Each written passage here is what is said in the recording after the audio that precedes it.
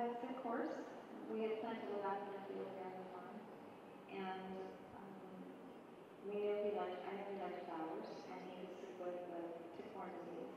So I brought some lavender and stuck it to his water, and it smelled very much affected him. And I thought it might be um, something that could help the. And when I noticed how they were responding to the lavender buds and flowers, um, we came up with this design. Um, and then we sent it to Ann Baldwin at the University of Arizona and asked her if she could study it for us and see if it had the same effect on horses. And her study showed that after 14 minutes, um, it changed the um, heart rate of horses, and she was it. We have a lot of customers that have had success with shipping. It probably seems to be our um, application that people seem to utilize the most.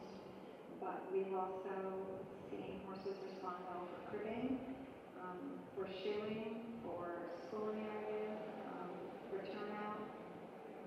Seems really almost any application where horses are halter or ride on the knees to help relax. My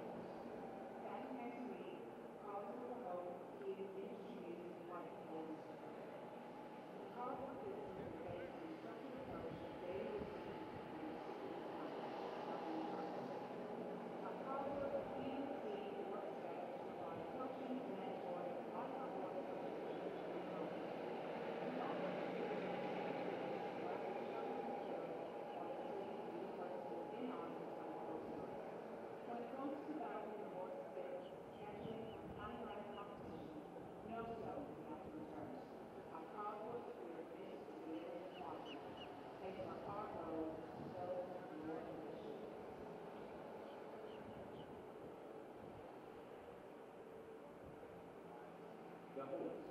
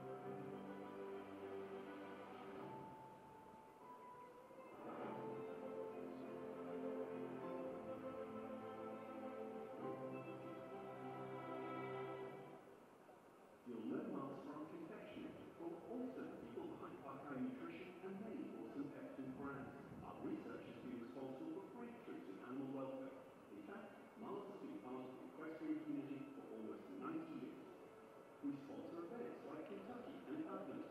White wine, tender boy, bowling, Ben next, we either name our Mercedes brand after all. Mark the question.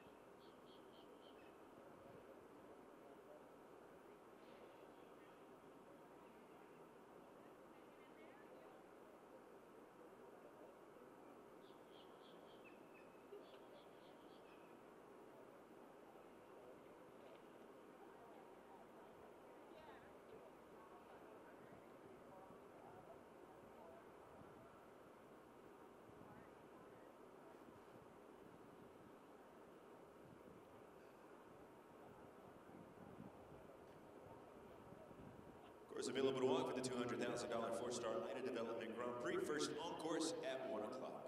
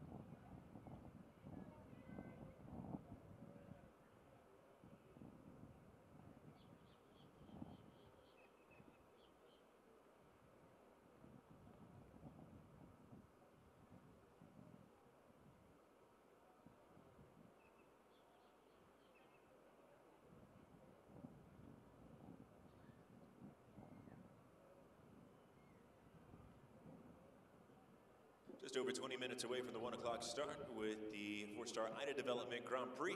And uh, as our competitors walk the course, we'll have the lead line competition this afternoon.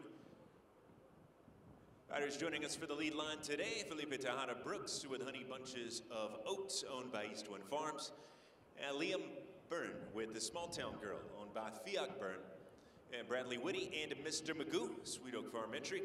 We also have Sage Cagle with Kim Carey's Wonderland. Cody Randall aboard Stonewall Surprise, owned by Emily Alec Butard. Sullivan Cagle with Wait For Me, that's an entry from Hinton LLC. And Lola Turan with Roberto Turan's One Hot Pepper. Reed Mulvey aboard at Thistledown Scotsman, owned by Lexi Furter.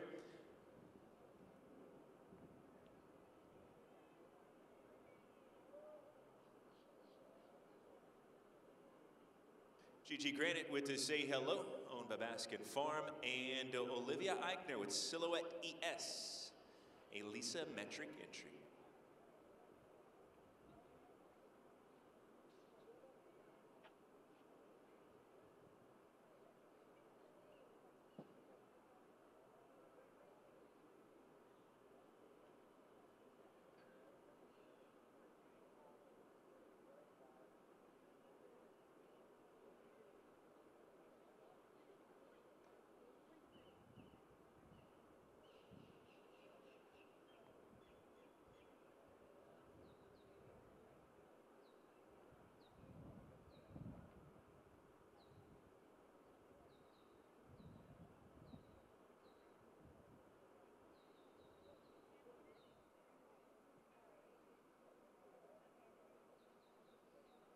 Uh, lead liners, if you would please reverse and continue at the walk. Lead liners, reverse and continue at the walk, please.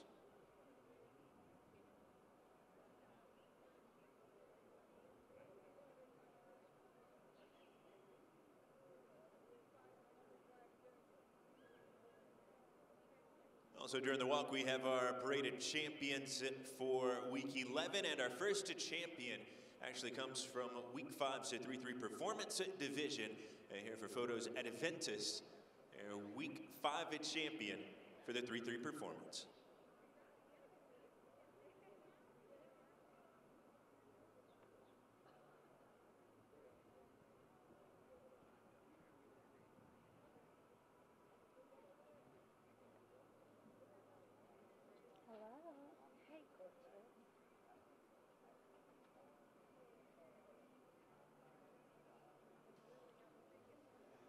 If all of our lead liners would please uh, line up in front of uh, our lead line judge, Liliana Rivera.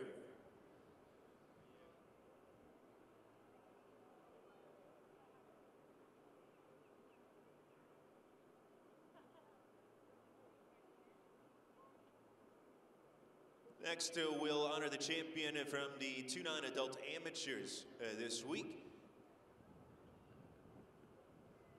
Bonnie McCabe piloting Luminaire to championship honors for the 2-9 adult amateurs. Luminaire owned by Linda Evans.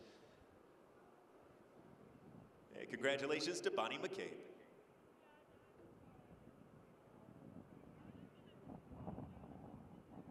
Lead liners, uh, please uh, look at our judge, uh, Liliana Rivera, and wave.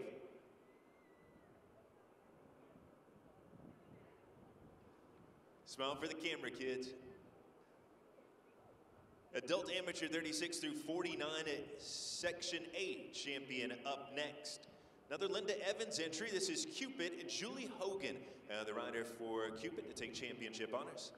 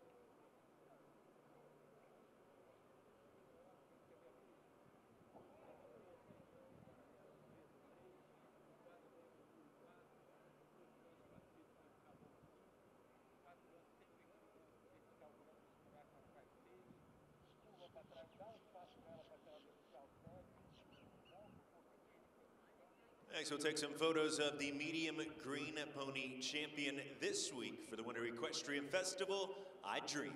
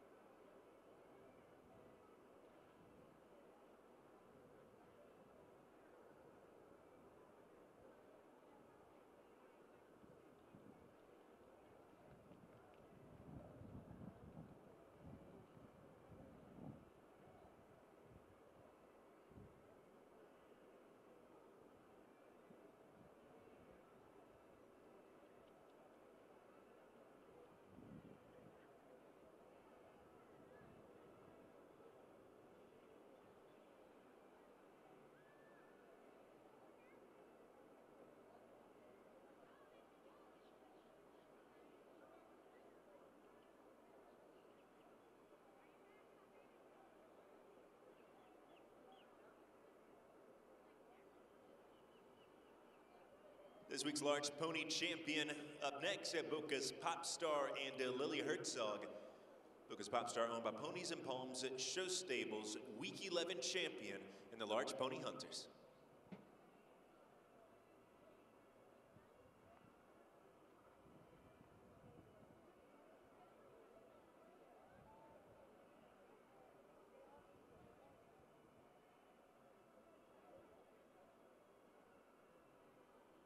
The results are in for the lead line, and after much debating from our judge, Liliana Rivera, she has decided that all of our lead line riders are winners today. It'll be a blue ribbon for all of our contestants in the lead line this afternoon. Congratulations to Felipe Tejada Brooks with Honey Bunches of Oats, Liam Byrne with Small Town Girl, and Bradley Whitty aboard Mr. Magoo, Sage Cagle, and Wonderland.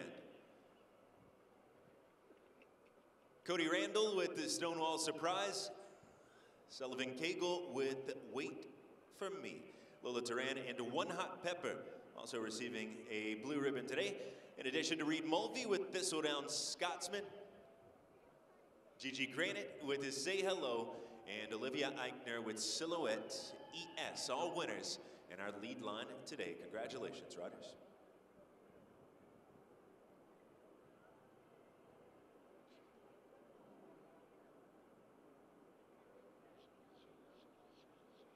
Just under 15 minutes from the start, 1 o'clock for the top of the order in today's four-star Grand Prix.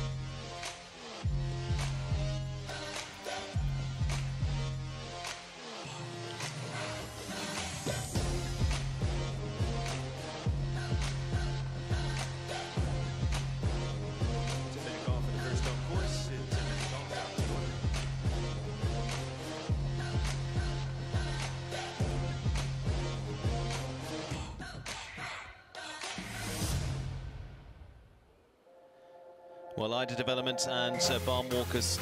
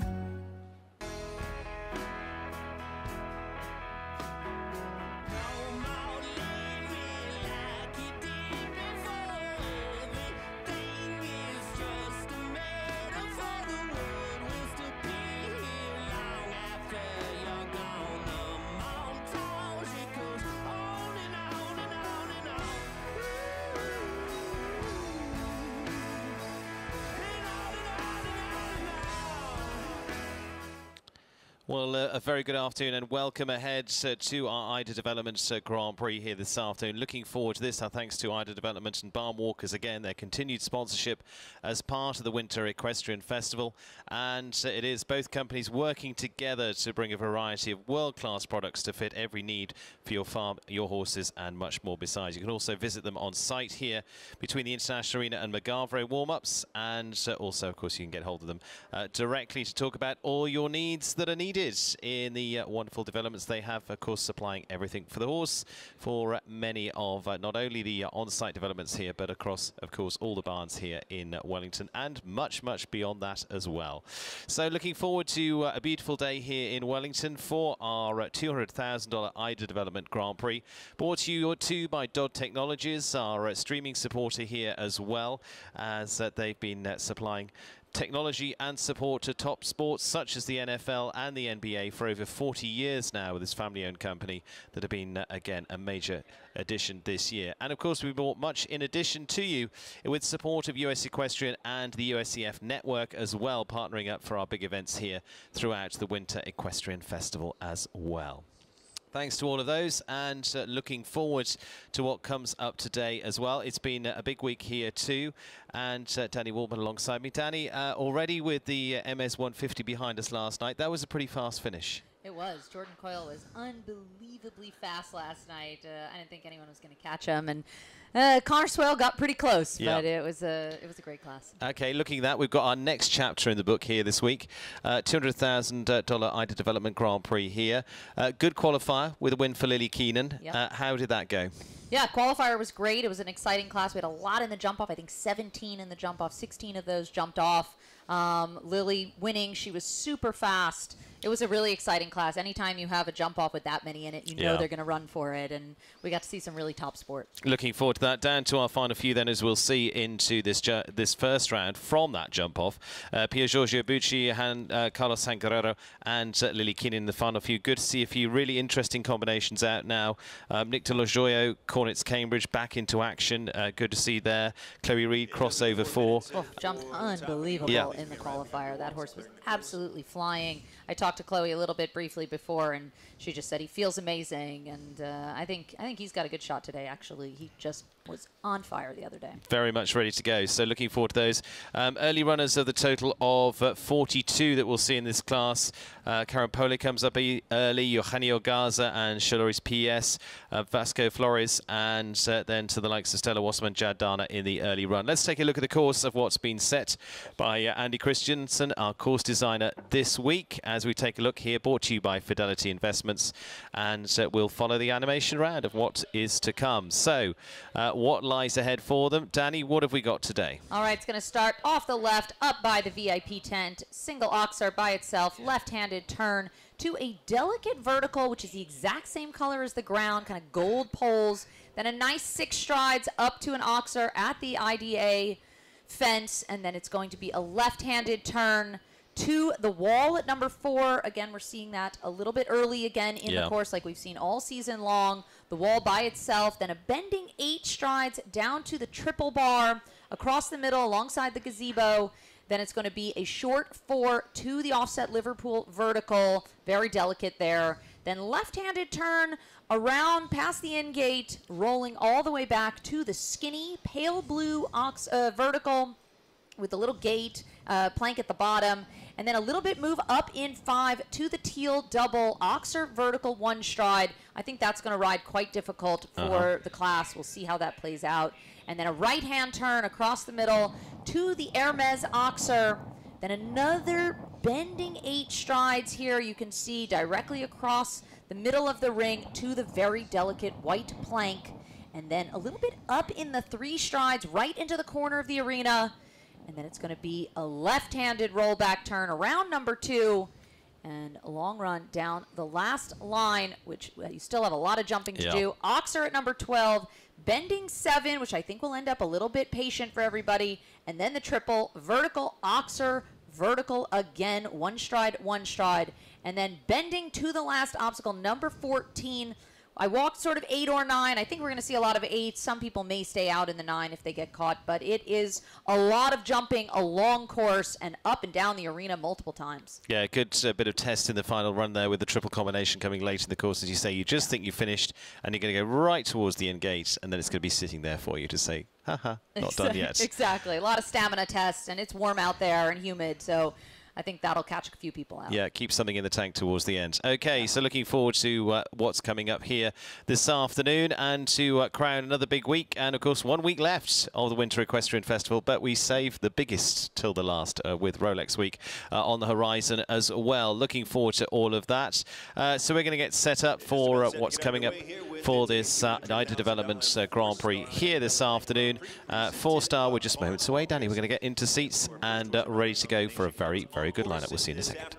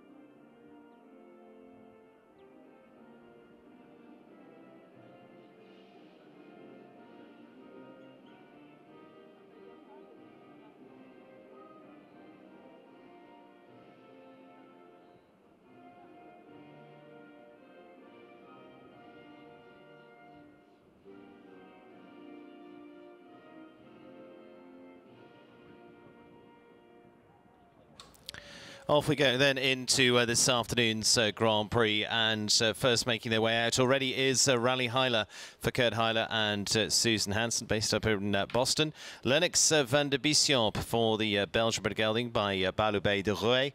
And the good thing is, Danny, she's had some good experience with a 24-year-old this year, been in a consistent getting out there into the big Grand Prix, and I think that's probably going to pay dividends down by the time we get to this part of the season. Absolutely. I think she's had a really good season so far and uh, been jumping up at this high level kind of consistently all season long. Excited to see what she can do to get us started. Again, we went through the course, but I will take you through it again as she starts out. Time allowed is 78 seconds. And uh, seems short enough. I think there's a lot of jumping to be done today. Yeah. And I think the course actually walked quite big. The wall is very tall. The plank is very tall. So let's see what she can do. All right, again, off the left to number one, IDA Development Oxer. No number here, I think. This delicate vertical. Two, three, four, five, six. Just nice six there. She just moved up a little bit at the end, has the front pole down, then left-handed turn to the tall wall. Good jump. Four, five, six, seven, eight to the triple bar. Very short there in the four. It's going to be a difficult four stride all day long, especially with that Liverpool coming out. So just doesn't quite get it done enough. The skinny here. Five works out really nice for her. She's sitting on a horse with a very big stride, so she got up that five easily. Now right-handed turn across the middle to the Hermes Oxer. Has the front pole of that. I think she does eight to the plank. Three moves up a little bit. That's exactly what you need to do to that line. And now left-handed turn down this long final line. Oxer out of the corner, very wide with those avocado green colored poles. Does the seven. One vertical. Oxer, one there. And then she steadies up in the nine to the Bainbridge at the final fence. But uh, gets us started a little bit over that time allowed as well. Yeah, a little bit steady there towards the close. Total of uh, 20 jumping two time for uh, our first away there for Rally Hyler. And uh, for Lennox van der Bishop, just one of the rails that they had down and back to this Fidelity uh, vertical over the water. Again, just seemed to be keep travelling through a couple of those. Yeah, just looked like had a couple of front poles of the Oxers. And again, it's big jumping out there today, and she has a big, big horse with a big stride, and uh, you know, just not able to give the horse quite enough space at some of those Oxers to get across, get in, away from that front pole. Sarah Siegel now, and actually has been uh, placed in a couple of our uh, four-star Grand Prix so far this season. Actually, also just uh, back from uh, having competed at the uh, World Cups last week in uh, Ocala. Uh, live out from that point of view, but off the turf and back in the arena here with Speedy Jump. Speedy Jump is now the 40-year-old by Stakkato Gold. And uh, for the horse that she basically, this this one that she goes to in the, the majority of the big classes from that point of view. Exactly. And let's see how this pans out for them. Just as you say, a little bit of curve down to this Barn Walker's Oxer from that there at three. Nice uh, in the six again. Right to the base of the wall. Gets a good shot there on the eight. Steadies up. Kind of slinks over that, but gets it done. And again, those are full up to height verticals at 1 meter 60.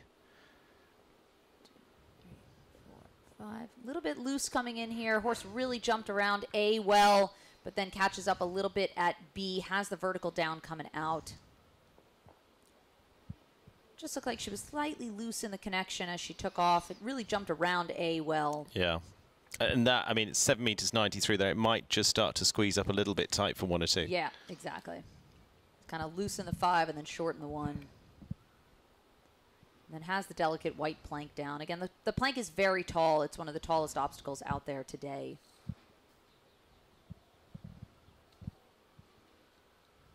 And uh, yeah, full up 160 yeah, for that Bainbridge yeah, exactly. fence to complete there. Gets and, over the last nice. And uh, from that point of view, that's also 170 spread on the last, 153 in height at fence 14 to complete. Uh, 12 jumping, uh, 4 for time, total of 16 there for uh, Sarah Siegel and uh, Speedy Jump in the early stages. He said just started to feel like they ran out of space there. Yeah, look, and you can see that on the replay there, just a little bit of a twist as he jumped B, and then here's the plank again. Jumped it well in front, but then just kind of clips it behind and then jumps out of that three stride line well. Like we said, the plank at number 10 is one of the tallest obstacles on the course at exactly 1 meter 60. Karen Polle now, and uh, Karen with uh, Jet Run by Chacco Blue. Karen, who's competed right the way through to the World Championships, former winner of the uh, Hampton Classic as well, and uh, really been getting back into the game this season too. And uh, now on this 14-year-old for the rider riding under the flag of Japan. here from uh, New York direction. Yeah, this horse actually jumped a good round in the qualifier the other day, and then just looked like he kind of froze up around one corner. And I know uh, she's been just trying to work through that a bit with him, but such a beautiful jumper. He'd been out for a while, and he's now back jumping at this level. And super talented horse. And there, just looked like he spooked a little Yeah. bit at one, and then jumped up real high and hung up a little bit. And then she really gets to the base here. She's going to have to just keep the support going. You can see how careful he is now, just kind of holding himself over the jumps. And again, jumps up real high there. Great effort on his part. And she is going to looking No. like, yeah, I think she was sort of second guessing. Do I keep going? Do I not keep going? And then didn't quite commit to that triple bar. Sometimes when the horses start and hesitate, especially like he did over number one, it's a matter of just deciding like, mm, do we kind of keep going and keep the the support and see if we can build confidence or does continuing actually take away more confidence. She does a great job actually to make a circle, reorganize herself, and then put the leg on, get that done. Has that. I think she's just now trying to give a little bit extra support. Actually jumping well. Just, yeah, and it Yeah, and then like, she yeah, says, okay. But yeah, exactly as you say, go and jump a few fences, get a bit of drive going there, get the confidence back. Yeah. Go, okay, uh, that's it. We've done enough. But to, having had the circle, it was like, okay, well, Yeah. we, we've got two choices at this point, and, and probably the right choice there to just jump a few more. Yeah, exactly. It's always a fine line, right? Like sometimes you you you run that risk if you keep going. You think, all right, they're going to get more and more scared, and sometimes they actually grow in the confidence if Yeah. you can get a couple of good jumps. And I think she was smart to keep going for a little bit, but then jump through the double and thought, you know what, I think I think that's enough. Eugenio Garza now, Mexico, El Milagros, uh, Chaloris PS, the 10-year-old stallion by uh, Chacco Blue, and along the line of uh, Baloubet du Rouet on the dam side as well. Really nice looking horse that he jumped in the Nations Cup here a few weeks ago as well, being a, a good step up to uh, Contago, of course, his top ride as well. And uh, this is one that's just going to keep developing. It's going to be really interesting to see as this one's coming to its 10th year this year, and, and this is where it needs to be now, stepping into these four-star Grand Prix plus. Yeah, absolutely. Moves up a bit. This horse a little bit spooky at times, just holding himself. So Eugenio just making sure to kind of give a little bit extra support, get up there. Then holds up a little bit to the wall. Yeah, you can see just a little bit shifty, just looking where's he at, looking at the Liverpool maybe. And Eugenio just kind of keeping him between leg and hand. Whoa, whoa, keep going. And then, Whoa, ooh. keep going. No, Oh, no, unfortunately, it got loose there and it just yeah. bounced him out, unfortunately. Yeah, unfortunate because actually it just looked like he kind of stuttered a, a bit. He kind of hit the ground and just was like, ooh, ooh, and then he had to really add leg to get into the double, and that just jumped him loose. And then the horse was doing a good job to, to do his job and just jump out of the double, and that just knocked him a little bit more loose. But he's up, and everybody's okay. Absolutely, all all right. Unfortunately for you, Eugenio, and so we've seen many good rounds with that combination so far. That's just a little blip on the way, and uh, they'll be back to just build a little bit of confidence back, I'm sure. So they are up and out, and everybody is a-okay. A okay. Time's ticking away, as we can see from the Rolex clock there, just uh, just coming up to 10 past uh, one our local time here, and we just see heading out there on foot for Eugenio Garza. Say both horse and rider absolutely fine, but and just unfortunately uh, didn't want to fish together. So uh, we are on to our next now, and it's Vasco Flores. Vasco with Anton Morano's uh, Cosmona, the uh, Dashbred mare by uh, Cosmio. Horse that he actually rode at the uh, Pan American Games as well. Great experience for them there, competing down in uh, Santiago from that point of view. And again, it's just kept them moving up to a new level for them, which is great. Yeah, absolutely. Good performance down in Santiago, and now just coming along this season, jumping this four star. They had a good week. They had a pretty good week here so far, and let's see what he can do. So no clears, obviously, so far.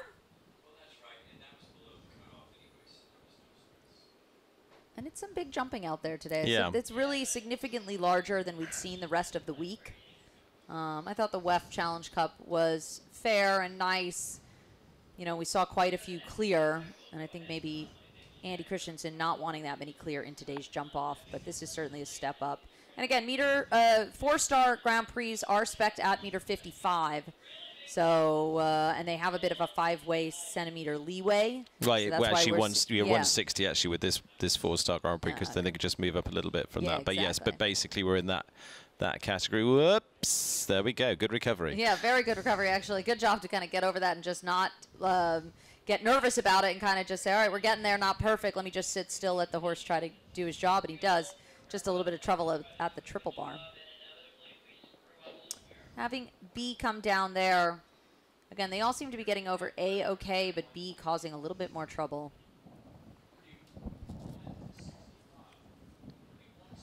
Nice shot here. Moves up a little bit in the three, but does have that back pull. It is right deep into the corner. Easy for the horses to either think about the turn on the landing side or just cut down a little bit. And Yeah. looking like he is calling it a day after having a few down. And again, similar to that of Karen Polle, just deciding that actually I, we need to get a few more fences underneath each other rather than just saying walking out the door and saying we're not done yet. And actually finished quite nicely there for where they got to. But Yeah, yeah, exactly. a little bit, a couple of couple of fences to get the confidence back for the uh, combination there for Cosmona and uh, Vasco Flores.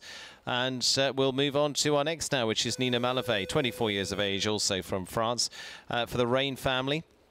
And uh, pairing that started off the season really well. They were top three into that NetJets Grand Prix with behind uh, Tiffany Foster on that occasion. And she's also been into the uh, U25s as well. And, and should have given her a good base here to really just get that consistent competition coming for her uh, week after week. So it'll be interesting to see how they fare here today. Yeah, she, uh, like you said, had a really strong start to the season. This horse, really scopy, very careful animal.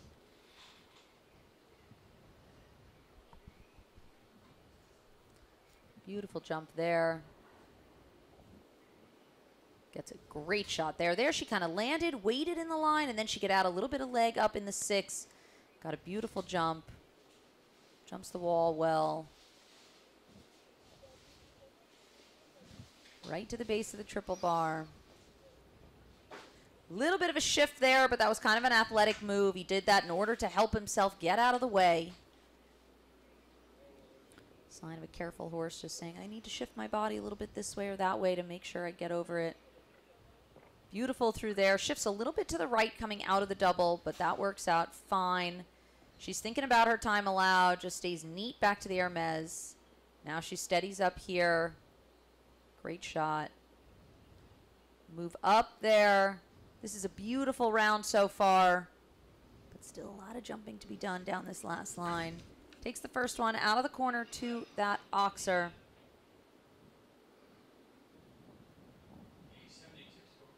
Gets through the triple well. One left to go. She's on the edge with the I'm going to say she's close time, very close on time, and might not just be enough. Yeah, uh, 80.19, in fact, further over it than I thought. It's three time there for Nina Mallevaey and uh, Cartier SR. Uh, hard to take away, though, from what has been a, a, a nice round, but yeah, Yeah. just not quite sharp enough. Yeah, I mean, I think she was thinking about the time allowed. You could tell she was quite neat after the teal double, and she was thinking about it. She did all the correct numbers and everything, but uh, time allowed is snug enough, and uh, I think it's actually was a gorgeous round. I don't think Yeah. she should be too upset with it. No, exactly. Uh, finishes with time there, three for time, and uh, best score at this stage for Nina Mallevaey. And I think they've extended the time allowed. They have to 81. So actually, that comes out as a clear. Okay, There we go. There you go. So that was basically we saw six or so jump, but or five jump, and They uh, must have changed it a little bit earlier on. It just Yeah. hadn't quite filtered through, but there we go. Uh, so uh, 81 time allowed, and uh, so she gets inside that. Um, so there we Elena Haas and Claude.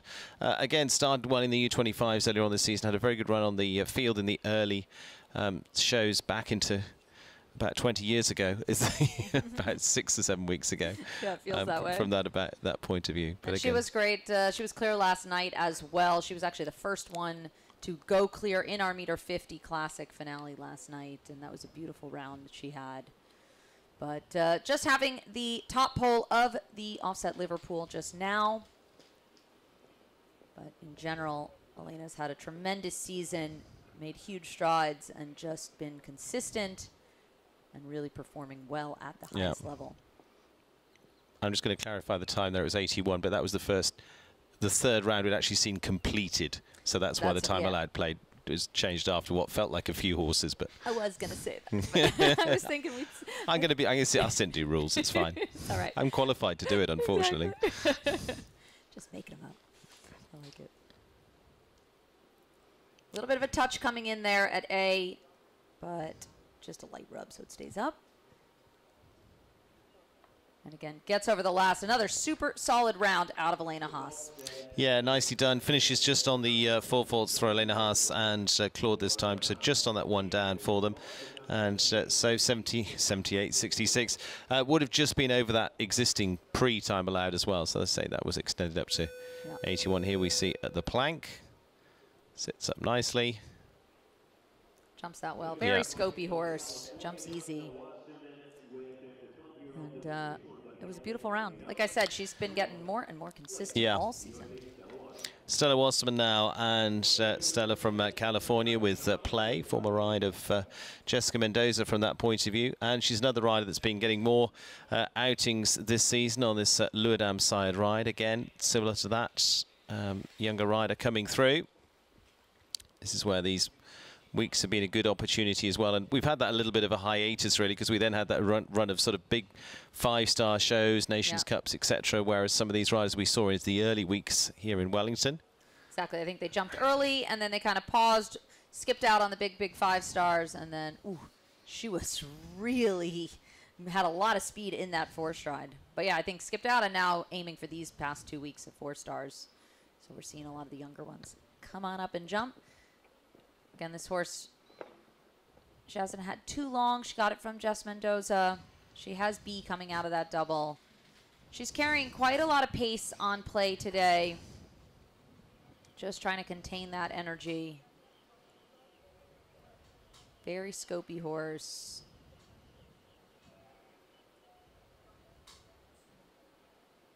Nice. I actually thought she had nice space there from the angle we are sitting at. It looked like she actually had plenty of space there, but he just kind of had it on the way up.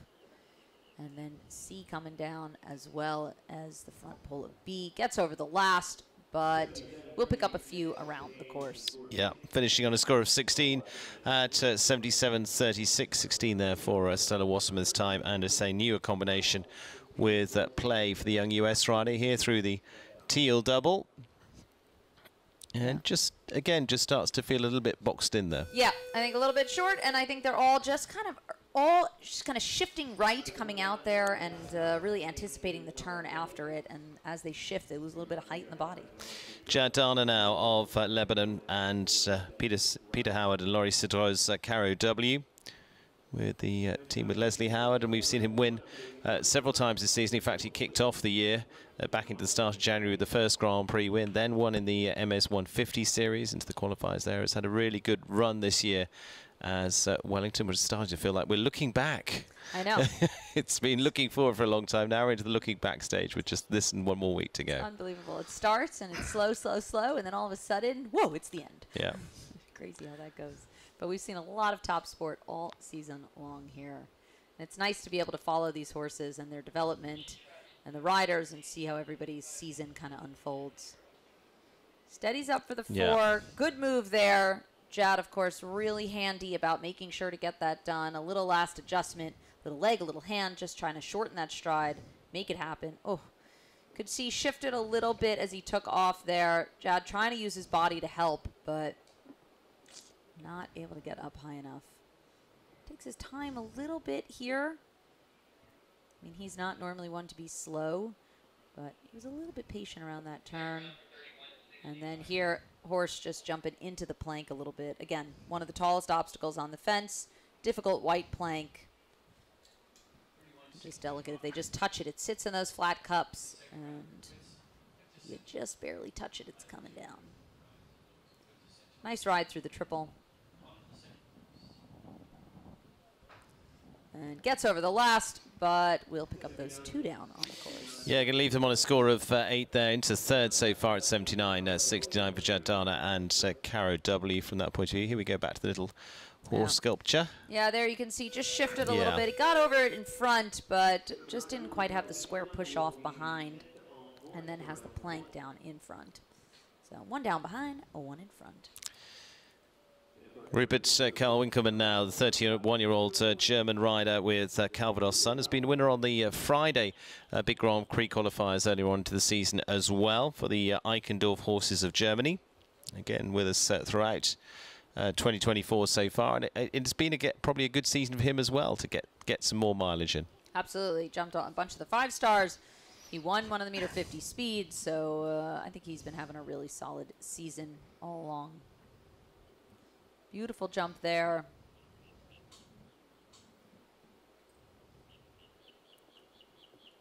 Really nice ride there to the wall. And you can see the nice camera angle there to be able to see the real bend in the H strides to the base. Triple bar, of course, the way the line is set up, very typical line that we see. Triple bar to an offset Liverpool vertical in the four strides. It is short, but the triple bar does help because they land a little bit shallow there. And uh, that helps you sort of set up immediately for that four strides. But of course, the triple bar being wide, you need a little bit extra pace to jump it so you have a little bit more speed. And it's just testing the rider's ability to keep the balance up. And their back pull, back uh, end having the plank down. And I think everyone steadying up in the eight to that, but then anticipating the forward three stride a little bit early. And then having the oxer down after. Gets through the triple. Looks like he touched A maybe. Good jump at the last. And but we'll pick up those sort of two down in the middle of the course. He leaves him at 8.79.39. Like we said, adjusted time of uh, 81 seconds. Coping with that all right. And here, teal double. We'll tick at the box at that one. Yep. Got that one done. But two down on the on the way. Yeah, here back to Let's the plank. Take a look at this.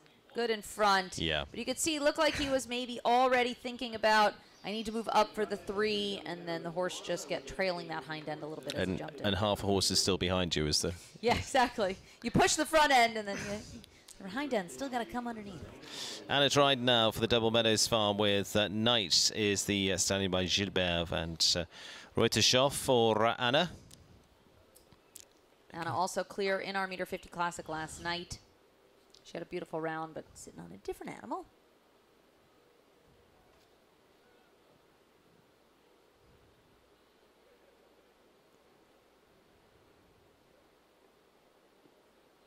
Good ride here. Uses her upper body to kind of help the front end.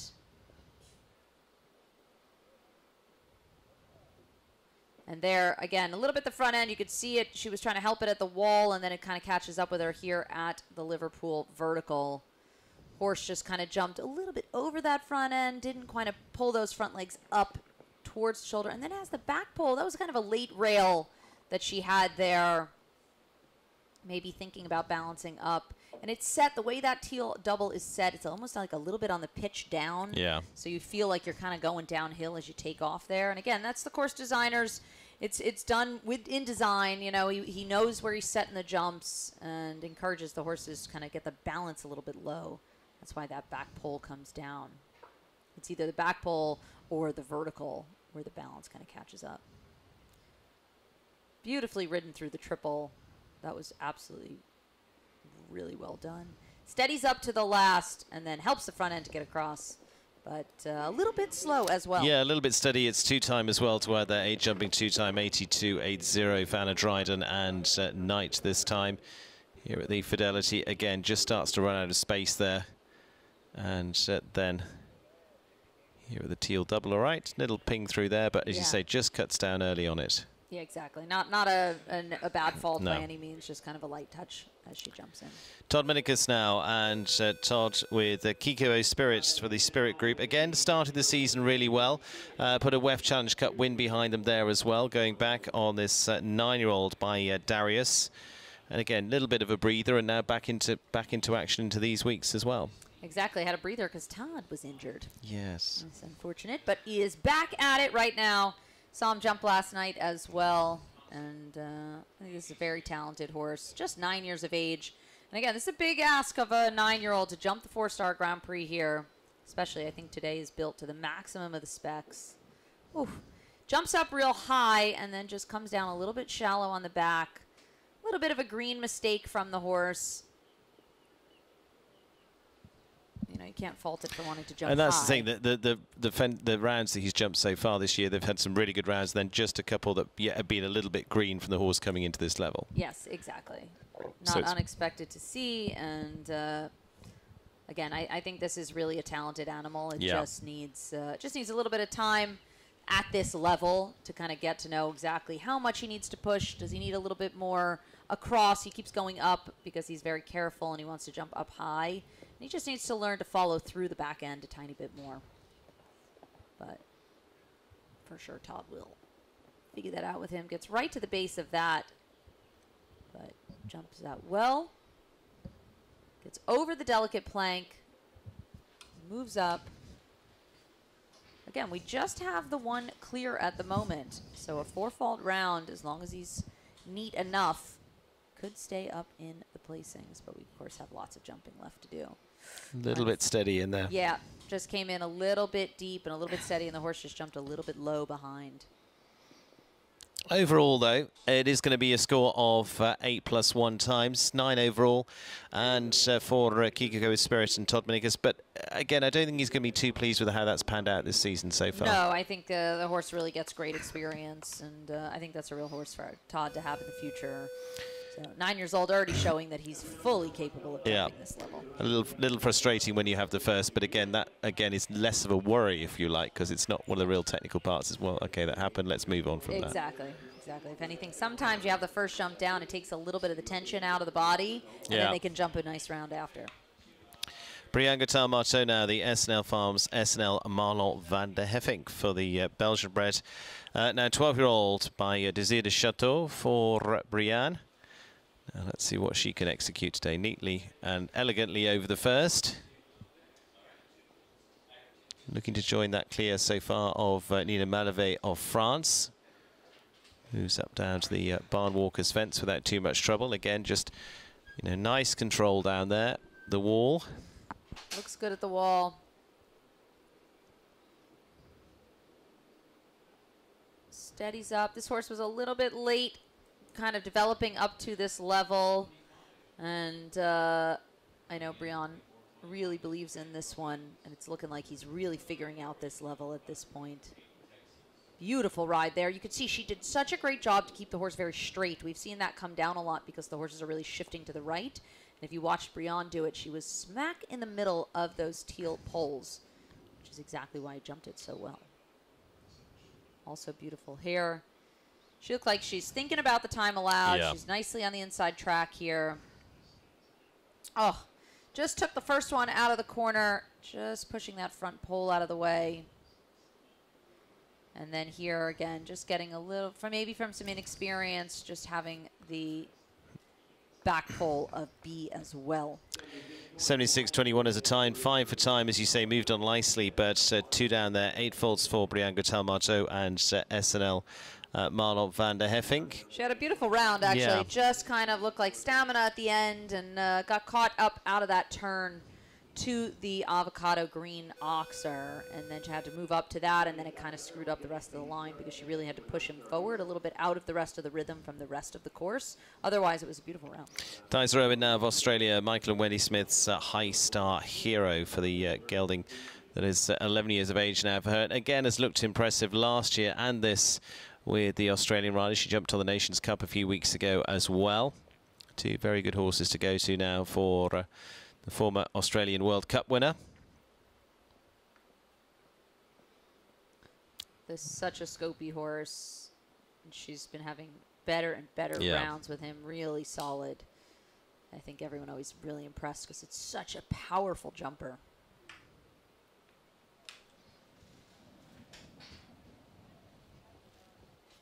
Huge jump there at the wall.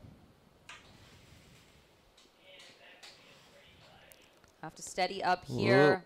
She got, Actually the, she got it back well. Yeah, she did get it back. Sometimes he's not always uh, perfect at those Liverpools, and I think she.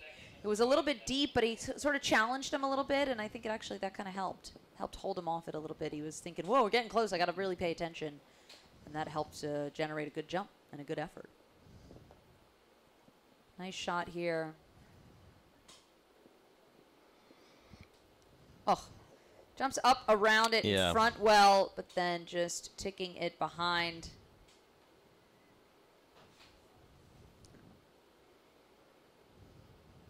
And there, just a little bit past the arc in the jump.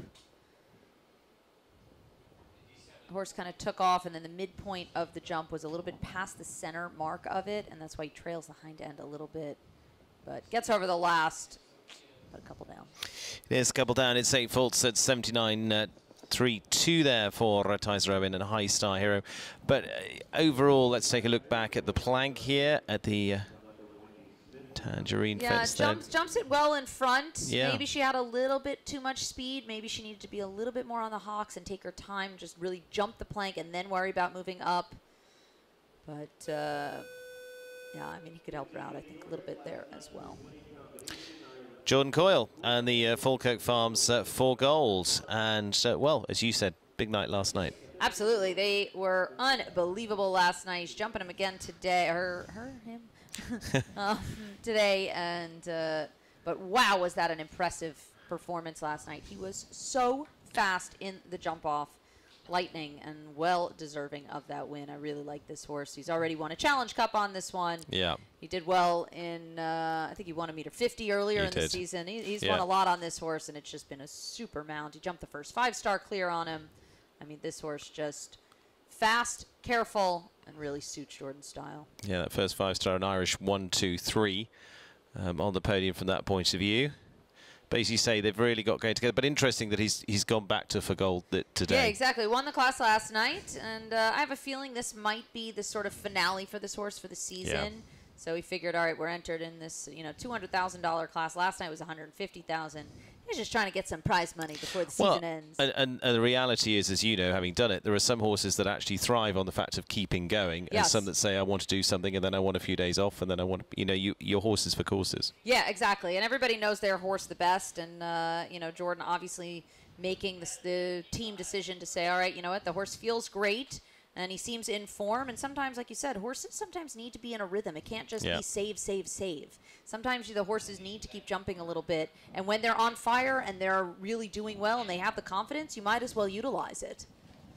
I think that's an important uh, thing that a lot of people overlook, and they think we got to just save and save. And sometimes when they feel good, Yeah. you got to keep going. Unfortunately, just catching up with him here at A and B was just a little bit quick coming in, just jumped a little bit belly low across A and B. Yep, 78 seconds the time. Unfortunately, it won't be a double up with last night's win, but it's still not a bad week for Jordan Coyle and for Gold, finishing on two down there, both coming in the combination uh, at the eight falls. Yeah, just comes there a little bit on the angle and then just gets- gets flat through here, as you say, Yeah. just not making height at that stage. Yeah, exactly. Got there and was just a little bit right to left as he kind of took off, and uh, just jumped a little bit straight through the body and a little bit low through the legs. Alex Matz now and uh, Illuminate MBF for uh, Alex, for Adele, uh, Dill Schneider Racing Stables. Of course, a family with links into racing as well. Father who is a top trainer in both uh, racing and, of course, as a rider in jumping too. Yeah. Now, again, for him, a top five in that uh, World Cup in Ocala last week as well. That was with uh, Cashew CR. Again, he's he's had a few different horses to go to this season and just starting to get some some real mileage on them as well, which is nice, including this 11-year-old. Yeah. Oh, unfortunately, the uh, I think front pole may be coming down of that. Just looked like maybe got up that six a little early. Steadies up nicely there. Used his hands and body to just kind of help hold the horse, let it jump around the Liverpool. But again, just with the one clear so far, definitely uh, four faults. Mm, unfortunately, he's having B Yeah. down as well. So, like you said, just that loose five into the sort of short one, and the balance as it tips down the hill a little bit. The horse is just not able to get over B well.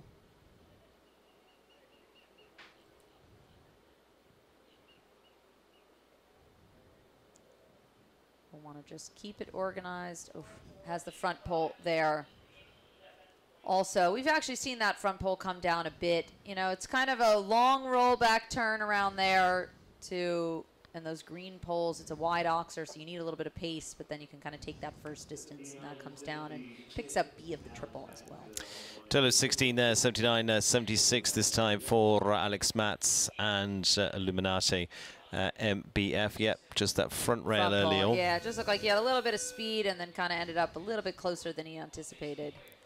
And then here, let's see, jumps through this. And uh, horse was still, you could see the legs were a bit uneven as he took off. The horse just didn't have time to get both legs kind of out of the way. And uh, one of them was a little bit lagging in picking it up, and that's where it came down. Eduardo Menezes now of uh, Brazil, the H5 Sport Horses, H5 uh, Castel Memo. Uh, this one a little bit more experienced at 14 years of age, uh, but again, really for him, it's um, been a, a, group of horses to be moving up into the five stars. We haven't seen so much of him in the in the bigger classes, but he's got a really nice string around from the H5 team and the, the Hank family there. Yeah, exactly. And I want to say this one maybe he told me was on a slight break, and he's now Yeah. just coming back up to this level. But Eduardo just bringing some up, but his student, of course, Carlos Hank Guerrero, having a super season so far, was a runner-up in the qualifier for this class. So overall, H5 team having a good season. And that's the thing, you start to sort of get the, the marks in the calendar, don't you, when you're you're then starting to think, okay, we might, like a horse like this, we're starting to bring it back out thinking about the summer. Yeah, exactly. Thinking about getting in spring and summer, we'll start doing some early four stars, etc. Yeah, exactly. We see we're seeing this horse more now in the later part of the season. It wasn't so much in the early part of the season. And uh, you know, we were talking, Brian and I were talking a little bit last night that horse sport these days doesn't really have a season, right? You get 52 weeks, and uh, 51 all- of them are full. yeah, 51 of them are full, and basically, you know, you just have to cycle through of like what what parts of the year do you want to peak and which ones do you use as a break. It's not so much a seasonal thing anymore. It's much more about you know, it's pick your own line, And, and pick that your will own season. and that will apply to each horse. That's not just a case of Absolutely. saying that's what a what a barn's going to do. You know, those all those horses will go that way. It's like this one will be aimed like this is Yeah, towards Uh, the later part yeah. of this season, and then maybe more towards the summer. On eight at the moment for Eduardo and H5 uh, Castel Memo. Uh, goes around for the uh, eight faults there at 79 to 6. And uh, unfortunately leaves them on the eight faults this time. Yeah, just having Yeah. the front pole there. Again, you know, I mean, that double, when I walked it, I immediately thought, ooh, this is going to be a trouble spot for the horses. We don't see the horses jump the teal doubles well. And an oxer vertical off of a loose line where they have to jump a delicate skinny coming in just encourages a little bit of that looseness, and then you lose the balance coming into the double, and it just makes it hard to jump. Elise Oken for the High Hopes Farm of uh, North Carolina now. This is uh, Forestal uh, by Don Diarado. We've seen it with Gelvira and uh, several others. Now, again, in the last couple of weeks, this one's had a bit more um, ring time. A little more action. Yeah. Exactly. Elise had a, a quieter start to the season because she was over in Abu Dhabi for the U.S. team, and uh, and now been showing how much heavier through this second part, and has a couple of really nice horses working with Markus and Meredith Beerbaum, and she's been really shining these last couple of weeks. Jumped that five star, I think, clear with the time fault, and she's having really good results.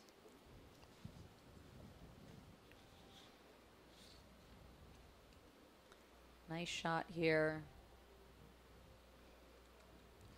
One of the nicest things about Elise's riding is she's small. She's she's not a very tall girl, and uh, she's nice and light up there. But she's very secure in her position and the tack. She keeps a nice short rein length, and uh, she's very simple. Everything she does is quite simple up there. Unfortunately, just had a lot of speed kind of as she took off, and the horse just jumped real forward across that vertical. Just didn't kind of set itself and jump up and around it. And there, C and B come down again as the balance gets thrown off through the big oxer coming into that double.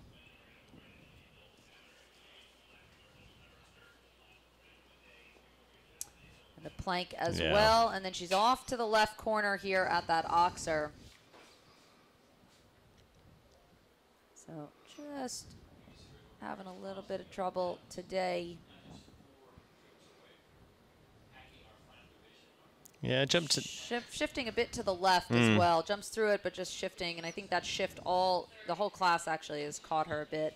As he jumps to the left corner, it makes it harder for you to leave the jump zone. It's on 12 this time, 78-78 for Elise and uh, Forrestal from that point of view, but uh, has also been a combination that, you know, that's not usually they score. It did come up a little bit earlier on this season in the four-star Grand Prix. Then they've had some nice five-star um, shoulder classes to compete in. Again, it's just generally been clears and fours, so just really coming back into that Yeah, exactly. as well. Exactly. But And yeah, again, as you like say, said, just got out of their rhythm a bit part Yeah. way through. Yeah, and uh, you know, this is a big class. This is a big jumping to be done. I mean, it's four stars. You know, a lot of money on the line, two hundred thousand dollar class, and uh, it's been a long season. It has. Uh, Zoe Conter and uh, the Stephex Stables Enrico de la Pomme, like I say, they're starting to bring some uh, move up some of the horses as well. Enrico by Vigo de Sway is the uh, 10-year-old for uh, Zoe here. Very interested to see, as I say, she also is another one that's been getting into the rhythm in the last few weeks as well. And you say that just those early weeks, you, you don't want to go and overplay your hand. Yeah, exactly. You gotta you gotta ease in, and you know, it's not only just about mapping out your entire year. It's about mapping out this season here in Wellington. It's very easy to want to overjump the horses because you're here and you think, all right, we're here. They feel good. Let's just do it.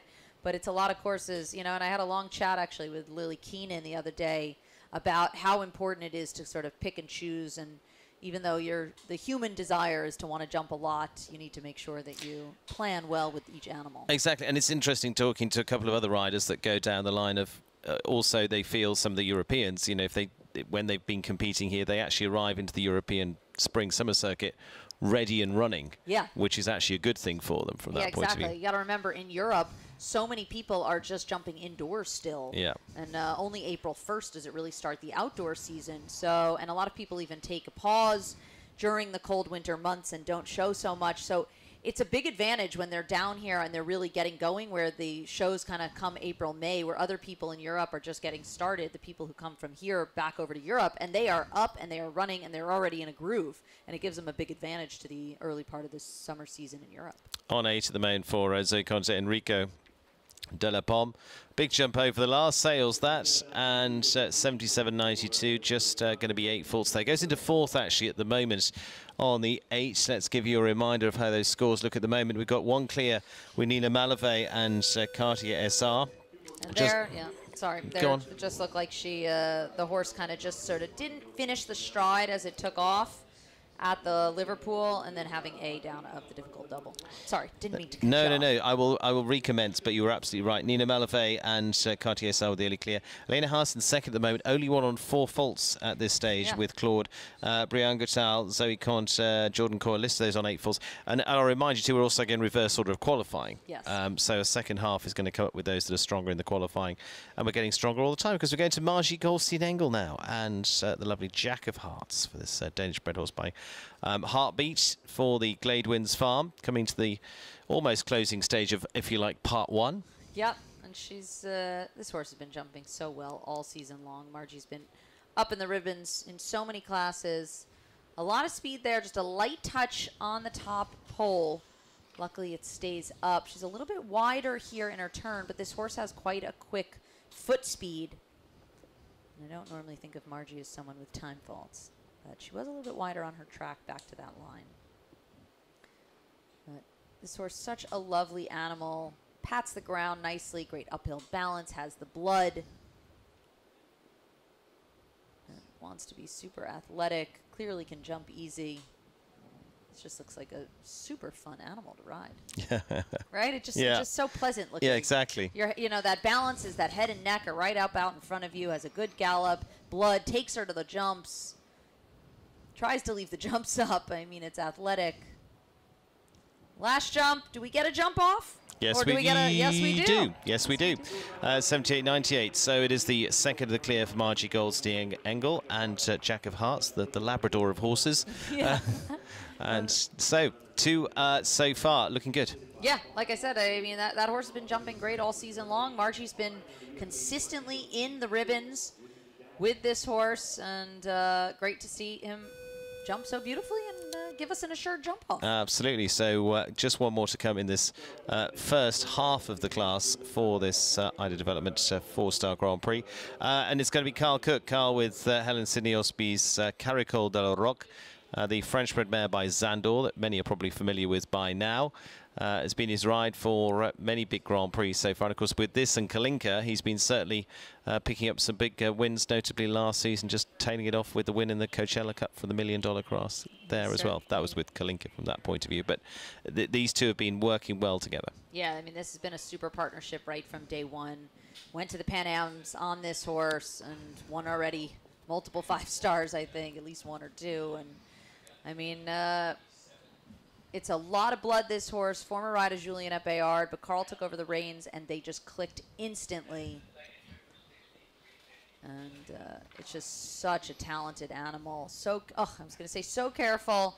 Just looked like she shifted a little bit as she took off there. A little bit kind of took off in the middle and then shifted slightly to the right as she jumped that. And then has a huge stride, really covers that. You know, and uh, when we walked the course, Karl was already thinking with that four stride line, it's going to get real short for me. And it did, and as she kind of shifted, just got a little too close. Gets over the plank. Again, this is really a talented animal. And Karl, Karl's riding just really suits the mare. Uh, but again, a little bit of what we were talking about earlier. I mean, they haven't done a lot no, this they year have so not far. been. No, they have been a partnership for maybe about a year now. But uh, they probably haven't jumped that many classes. And, and coming into this season, they did a little bit in California. They jumped on the Nations Cup. Yeah. They've then had a quiet time since then, so they're just going to finish on the four there. I don't know how much of that is the view of also looking ahead to next week as well with Yeah. the, with the Grand Prix and so forth, which way he'll go. Um, who knows? But as Yeah. you say, just starts Just to slight get slight shift, yeah. Yeah. He was worried about that. I mean, the mare has a huge stride, and uh, she really covered the ground well in that four, just too well, and then just a tiny bit of a shift as she took off, and it was too much. Has that down.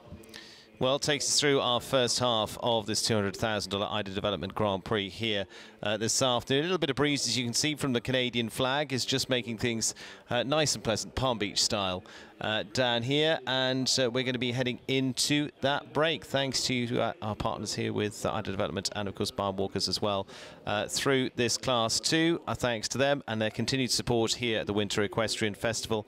And I say, if you're uh, on site, you can also visit them uh, here on site as well, down near the Magavro in the International Arena. Uh, our arena team are going to head on in, and we'll be back in around ooh, seven or eight minutes uh, with our first on course into the second half of this class. Two clears at the moment with Nina Mallevaey and Margie Goldstein Engel.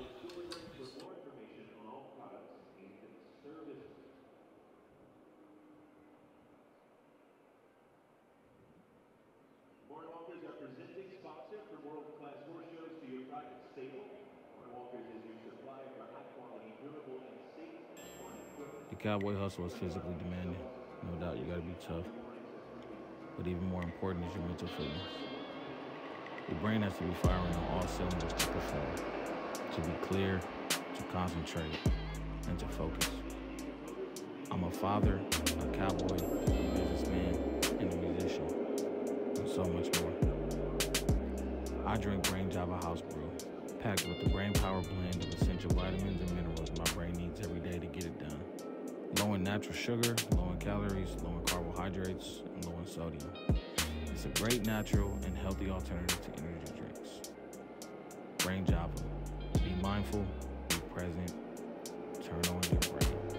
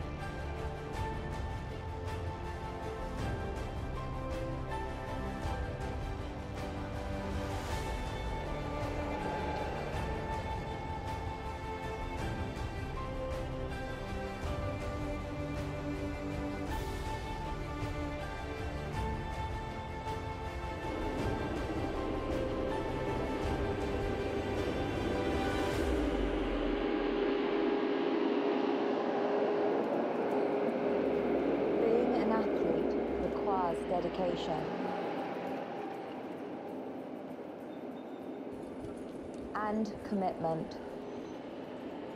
As an athlete, you are at times in your own mind. You must have confidence for yourself and your horse.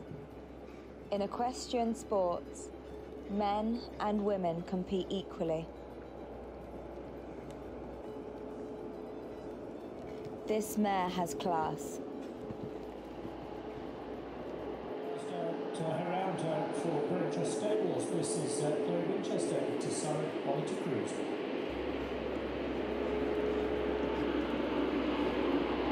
Introducing Tazara Classic Tea. Be mindful. Be present. Turn on your brain.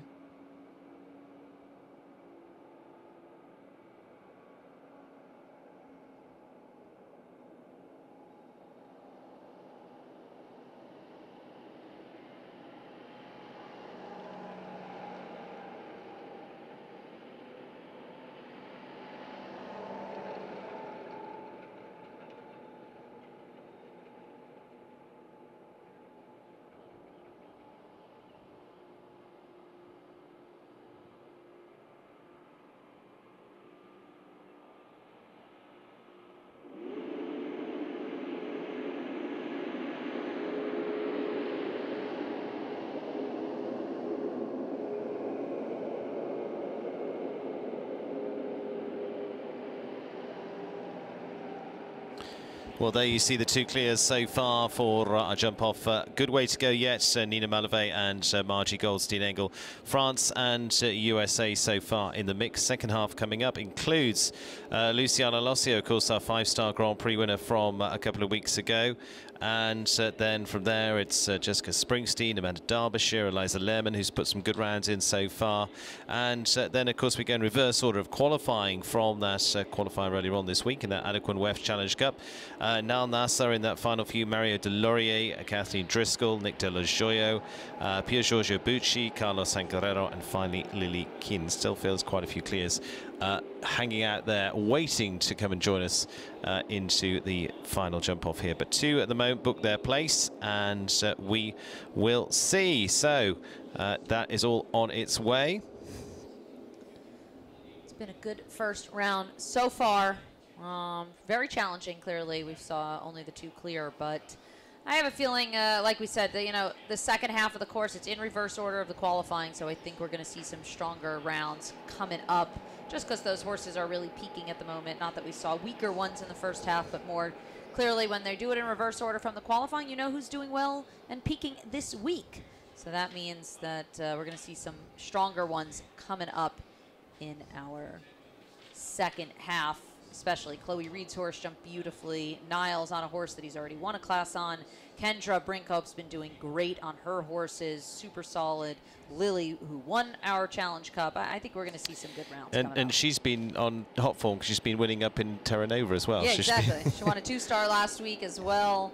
So uh, Jessica Springsteen also was clear. She's on a new one, but it's been jumping beautifully. Yeah. So we're going to see a lot of good ones, I think, coming up and uh, hopefully it'll shape up to be a great jump off. Yeah, absolutely. Looking forward to that. Uh, back underway in a couple of moments' time. Like I say, two clears at the moment with Margie and with uh, Nina. Our reading team just putting the finishing touches on, and uh, we'll be back underway into this uh, $200,000 IDA Development uh, four-star Grand Prix.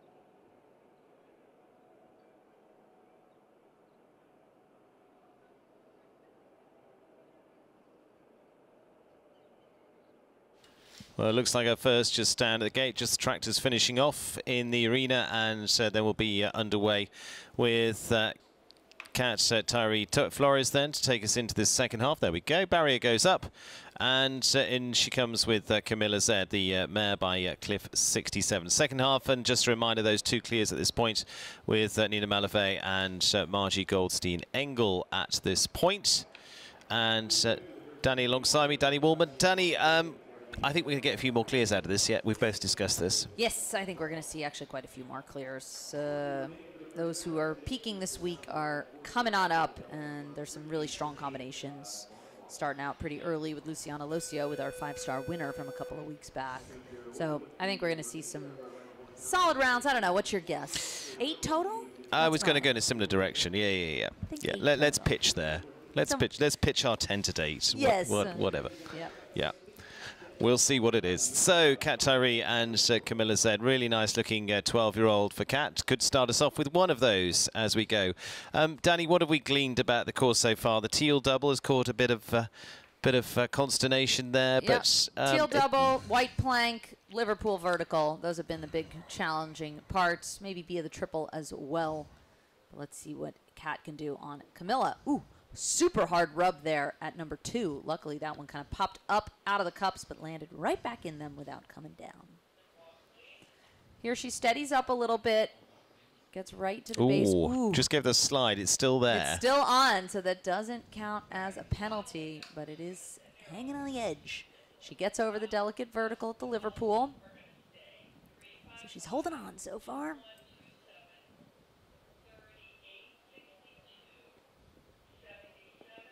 Sits up nice here. Backs up good through the double. That horse really set herself to jump that well.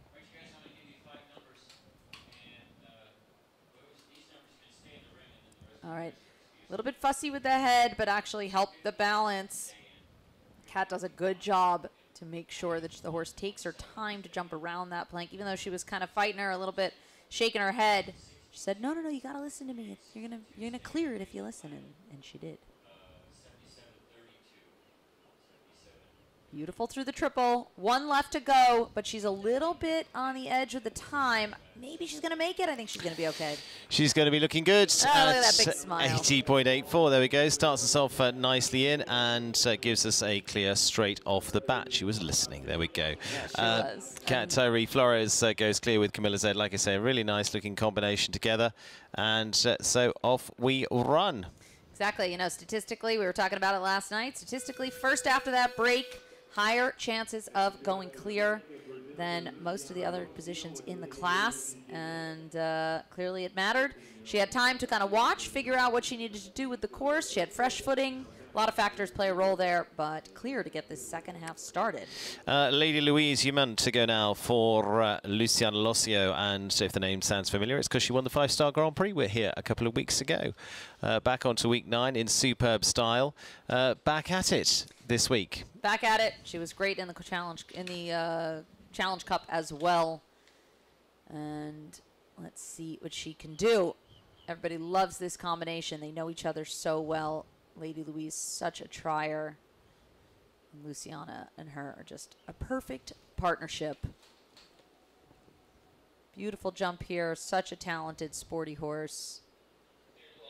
Big jump here. She's going to have to really steady up, but that worked out well. Again, the horse has a really adjustable stride.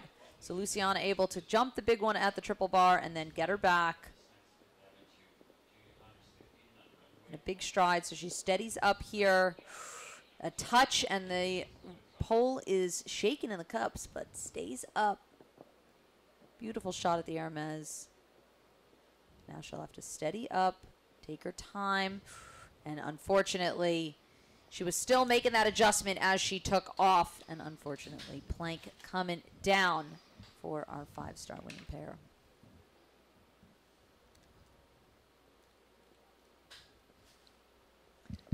Gets over the triple, and I think she'll be frustrated enough with that one down, but uh, actually, really solid round. Yeah.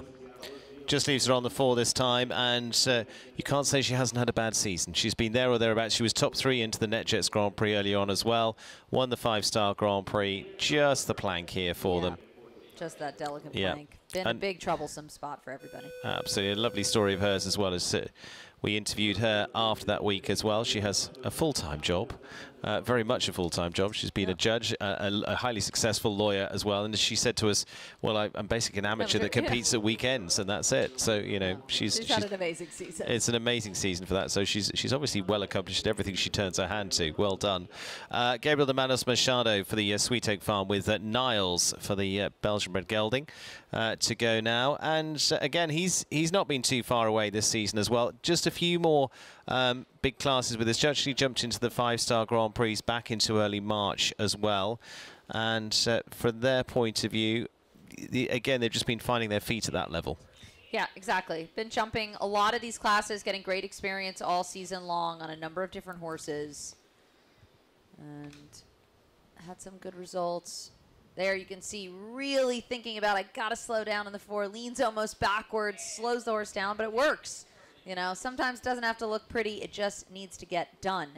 And Gabriel doing a good job in the four, but then unfortunately having the skinny down and uh, landing a little bit with the balance low through that double and having B, like we've seen, come down time and time again. Steadies up for the plank here. That he did very well. Keeps him straight there. Horse wanted to shift a little bit left, and he just keeps him straight through the three stride.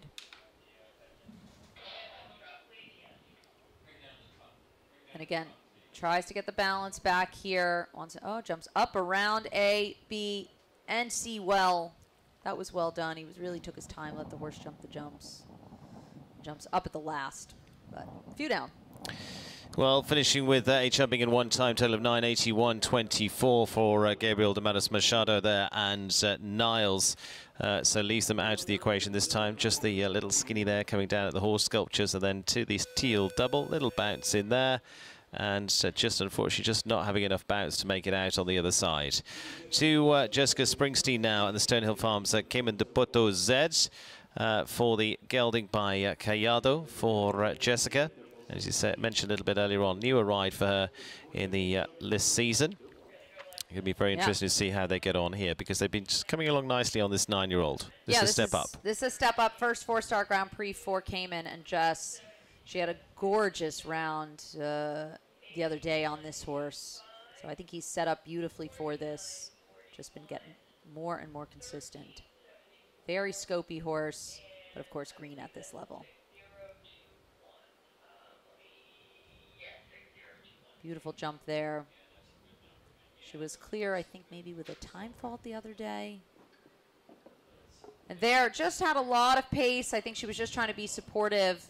And uh, hind end actually overpowering the front end a little bit. Steadies up beautifully there.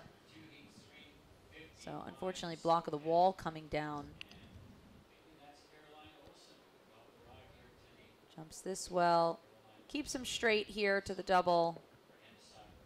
Jumps through that really well. She did a good job really to think about the straightness and the balance. And again, this horse, very powerful, very strong hind end. Gets over the delicate plank. Jumps really easy. You can see you shorten the reins a little bit, reorganize. Again, young horse. And jumping well. Let's see how he jumps at this triple. Come in, yeah. Was just thinking the balance maybe was getting a little bit low, front end getting a little bit insecure. Has the front, has the pole at A.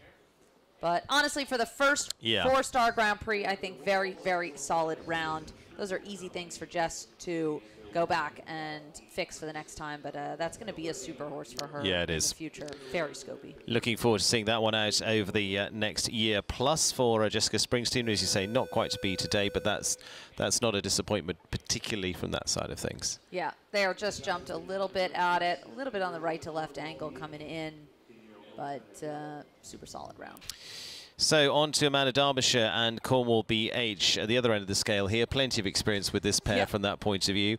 And so it should give them a very good opportunity as part of the four-star here this week. It, we get so used to five stars here, we start going, oh, four-star, we've, we've gone down again. This is not, this, not. this is a big Grand Prix. Yeah, $200,000 Grand Prix. Exactly. There's a lot of money and it's a lot of big jumping. I mean, this is uh, a massive Grand Prix anywhere else in the world. You know, you get a little bit uh, numb here in Florida thinking five star, five star, and it goes back and forth, and then you think, oh, it's a four star, it's so soft. But it's Nope. not. Nothing is soft here. Time allows are tight, jumps are big, courses are technical, and uh, nothing's a gimme here in Wellington. And top competition. Slinks over that, but gets it and she's staying neat here. This has been such a great partnership over the years.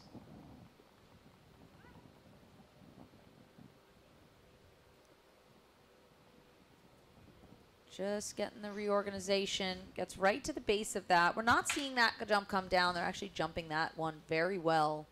It's this plank that they are struggling with. And she made the adjustments, but unfortunately kind of got there. And the horse, as he jumped up, kind of jumped up and into that top plank. They don't see it well, and it's very delicate. So a light touch, and it's coming down. And jumps through the triple nicely. Keeps it active, a little bit on the outside line here to the last, but gets through it well within that time allowed. Yep, they do, and uh, so it is just on the four. Into sixth place so far from Amanda Derbyshire. Uh, 78-11 with Cornwall BH, as you say, the four-star, four uh, falters playing a big part in this four-star. Just again, the plank uh, takes them uh, out of the equation there from that point of view. Yeah. Plank is a hard jump to jump today. I thought also when I walked it, I thought, whoa, this is a lot taller. It's very delicate with just those three plain, plain white planks and uh, into the three-stride line, which is forward. People, riders anticipating it a little bit as well. Eliza Lemon now, and uh, this is the Five-Way Farms Aluna CLZ, the uh, mare by uh, Emerald. And, and actually, going back a few weeks, had a really good run with this horse. They actually finished si sixth in the WEF Challenge Cup back onto week seven. That's a five-star week. They were top five in the two-star Grand Prix as well. Uh, top ten in the qualifiers back into December this y- last year as well. They, they haven't done so many of the bigger classes, but what they have done, have done very solidly. Yeah, absolutely. Uh, I think they've done really well, and she was clear in the Challenge Cup on Thursday, elected not to jump off to maybe save for today's class. And uh, I think Eliza knows that Aluna is capable of jumping this class clear, and uh, we'll see if her strategy paid off. But this is such a nice horse. Compact head to tail, nice balance, and clearly a very successful animal.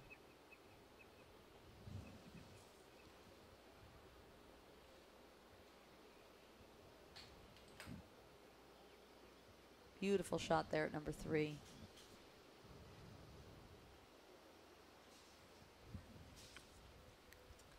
Really nice there. Again, this horse by Emerald and looks very much like his father, her father. Unfortunately, having the back pull of the triple bar. We actually have not seen, we've seen a couple of times that that's come down, but not that much. And uh, just jumped up nicely, but just didn't get across the width of it maybe just underestimated a little bit how wide it's riding. Here Eliza just trying to get the control back as Aluna gets a little bit stronger going through the course, really taking her to the jumps. Big ride there.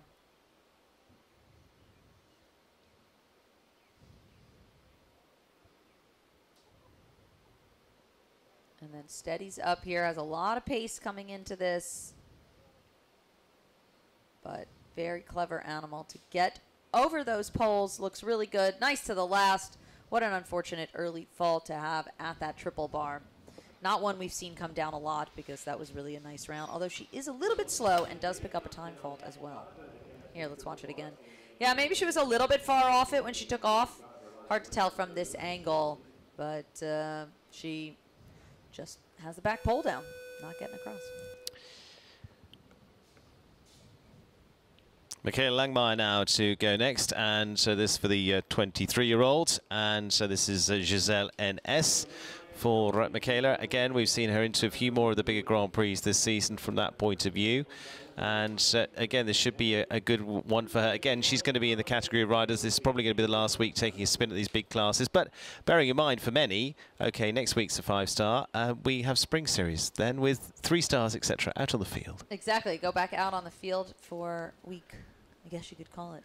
No, no, let's 14, not. no, no, spring. 14. It's separate shows. Separate shows. Separate shows. Feels like it just keeps going. But actually, it's such a nice change of pace. They've been in the international ring now for a number of weeks in a row, and they will head out back to the field for some beautiful spring jumping. Yeah. Good ride here. She gets that four done.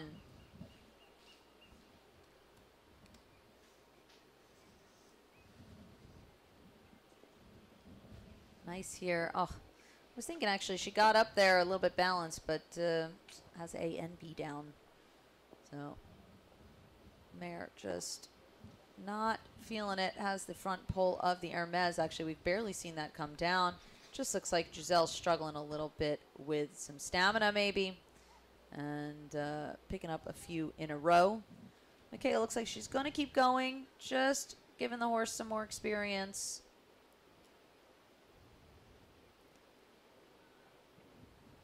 Just a little bit of a reach there through B. And unfortunately, not their day today for Michaela and Giselle. Yeah, I don't know. They uh, they had a good qualifying round. They uh, they actually had a clear round in the first round of the Challenge Cup, and then had one down.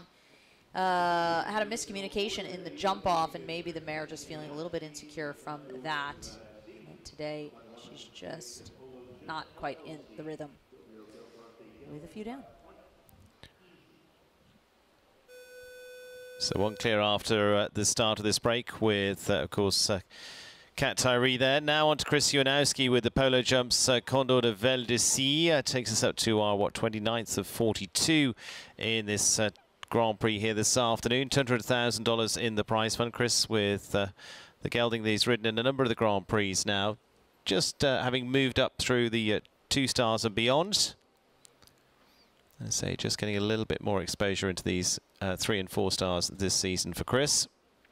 Yeah, he also had a great round clear in the Challenge Cup. Remember, all this second half basically was almost all clear because there were 17 that jumped clear in the qualifier. So these are the ones that are clearly doing well. And uh, Chris had a super round. And this horse really kind of getting into a good groove at the moment. And uh, does end up having a block that was it was a little bit far off, and the horse kind of just stuttered right on takeoff. And uh, they were actually lucky that it kind of all worked out the way that it did. He just pushed one block out of the way, but then has the triple bar and the vertical after. I think all just kind of related to what happened at the wall. Can definitely throw off concentration a little bit. You know, I, I don't think that uh, Chris was anticipating that happen. He was just he was kind of moving up on the longer one, and then the horse just kind of stuttered a little bit. And then they had a bit of a funky jump at the wall, and then that kind of screwed up the whole rest and snowballed down the rest of the line. But it's all right. He makes the call to say, you know what, we're going to raise the white flag and come back another day. Well, let's move on to uh, Kendra uh, Claricia Brinkop now, Germany riding for the uh, Stephex Stables, is uh, headed over here for essentially the second half of the season uh, here in Wellington as well with uh, Do It Easy, uh, French-bred horse by Vigo CC. Uh, hopefully they do it easy. We'll see. Well, she's certainly been doing it easy Yeah. all season. Kendra came in here and uh, just like a wrecking ball, and everybody had to get out of the way because she has just been dominating, placing after placing at the top in on the podium multiple times. Kendra just such a tremendously strong rider. Yeah.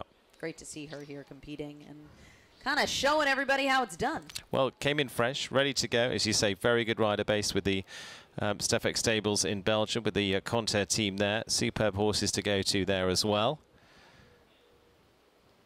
I would think would be featuring into next week too. Yep, I would think so. Gearing up for the five start next week. Like I said, she's been doing it easy. Beautiful to watch too. I think she's Yeah. very few mistakes, very correct about how she does things. Oh. Unfortunately, it looked like the horse just kind of shifted as it took off and lost a little bit of height in the jump. Again, that, that vertical at the Liverpool's been very difficult the whole time. But you can see Kendra knows there's only three clear, and she's thinking about her time. She really landed off that double, hugged the little uh, horse head standards that she had to go around, but she's just thinking, I got to be as neat and quick as possible. Very clever rider, you know, really knowing like, hey, I had one down. Let me be as fast as I can and stay up. There's a lot of money. Remember, two hundred thousand dollars in this class. So, and if she can be the quickest four falter, she's going to be sitting in fourth, which could be great money and important, uh, valuable world ranking points. Gets over the last, and it is a pretty quick time. Yeah, just going to leave them on 76. Uh, in fact, to go 80 into fifth place there, 76.85 on the four fours. Just the fidelity uh, tipping out the cup. Gets a good splash as they drop into the tray, but uh, it leaves them on the four for uh, Kendra and uh, do it easy. They do do it easy, but not quite easy enough. Not quite easy enough today, but a beautiful round. Three clears at the moment in this IDA Developments uh, Grand Prix. Uh, one, two, and three being uh, Nina Mallevaey, uh, Margie Goldstein-Engel, and uh, Kat Tyree so far. And uh, so it'll take us on now to Sloane Cole. Sloane with the Ninja Group's Ninja. Uh, very technical, that. Um, Belgian bred, uh, now 11-year-old mare by uh, Elvis ter Putte for them. And and for them, again, getting into more of the uh, four-star Grand Prix this season as, a, as again, a, a, progressive stairway of moving up. Um, last few weeks saw them into the, the four-star Grand Prix back into uh, the early part of March. Jump round for 12 on that occasion. Uh, again, similar stuff through, you know, eights uh, and 12s into the three and four-star Grand Prix. But again, this is this is development time. Yeah, absolutely. Sloane's been working with this horse for a number of years, just bringing her up to this high level. She's gotten more and more consistent all season here. And oh, make an adjustment here. Good job on Sloane's part to really make that adjustment and say, hey, come back to me. We have to fit this in. Don't want to have it down. Oh, unfortunately, having B coming out of the double. She was trying to keep the balance up, but just not able to keep it up enough to get over B. Like we said, that's been a big troublesome spot all day long here. Of course, always nice to see this horse. You know that this is Gazelle's baby. Ah, okay. From Kent Farrington. There we go. No, I did not know that. There we go. Yeah. A little bit of a touch at A. Gets over B. A little bit insecure with the front end at C, but gets over it. Clears the last. Another one that's quite quick on the time, so she'll stay up there. Yeah. Quite solid round there for Sloane and Ninja. Yeah, it goes into fifth place there on the uh, four there for Sloane Coles. Just again, just one fence dropping. That's becoming the, the order of the last few, but again, different place. Just a bit of space there needed. Yeah, exactly. It looked like she actually rode A well, and then she just kind of tried to create the energy, and as she did that, she just created a little bit speed as she took off. Yeah, should have worked out the fact it says gazelle on there. That it was that gazelle, but Yeah, yes, you you don't it think of it. You don't think it. you don't think of it that way around. Uh, Chloe Reid now, uh, Team Reid of Ocala's uh, crossover for the Hanoverian by Cascadello, uh, has been a very consistent horse. There's had a couple of ups and downs in the, in the Grand Prix, mainly due to a fence that's sitting on course at the moment as well. Uh, but I think we've got all, all worked out from that point of view. Uh, So she's been going really nice. She's had a nice run uh, for top three at uh, their home base show. Uh, in O'Connor at Live Oak just a few weeks ago. Well, actually, literally last week. Yeah. I know it all flies past. Yeah. Uh, but he's a really nice horse and a, and a really nice rider with it. Yeah, like we said uh, earlier on in the day, this horse just really impressing me so tremendously. Jumps the wall, no problem. And uh, just flying this horse. It is so careful. If you see photos of this horse, uh, Chloe posted some on social media, and wow, it is over the standards. It is Yeah. just such an, a talented, athletic horse and always in the results. Chloe developed it herself, rides it so great. Look at that. Jumped out of that double better than any other horse we've seen in the class. Just pushed off and jumped high and up around B. Oh, what a shame. I was just talking about what a great jumper and unfortunately jumped up so high, came down a little bit shallow at number nine and uh, has the back pole of the Hermes. We have not seen that come down so much today. But catching Chloe out, unfortunately. Still love this horse, however. Great expression. Look at the beautiful jump there, the athleticism. I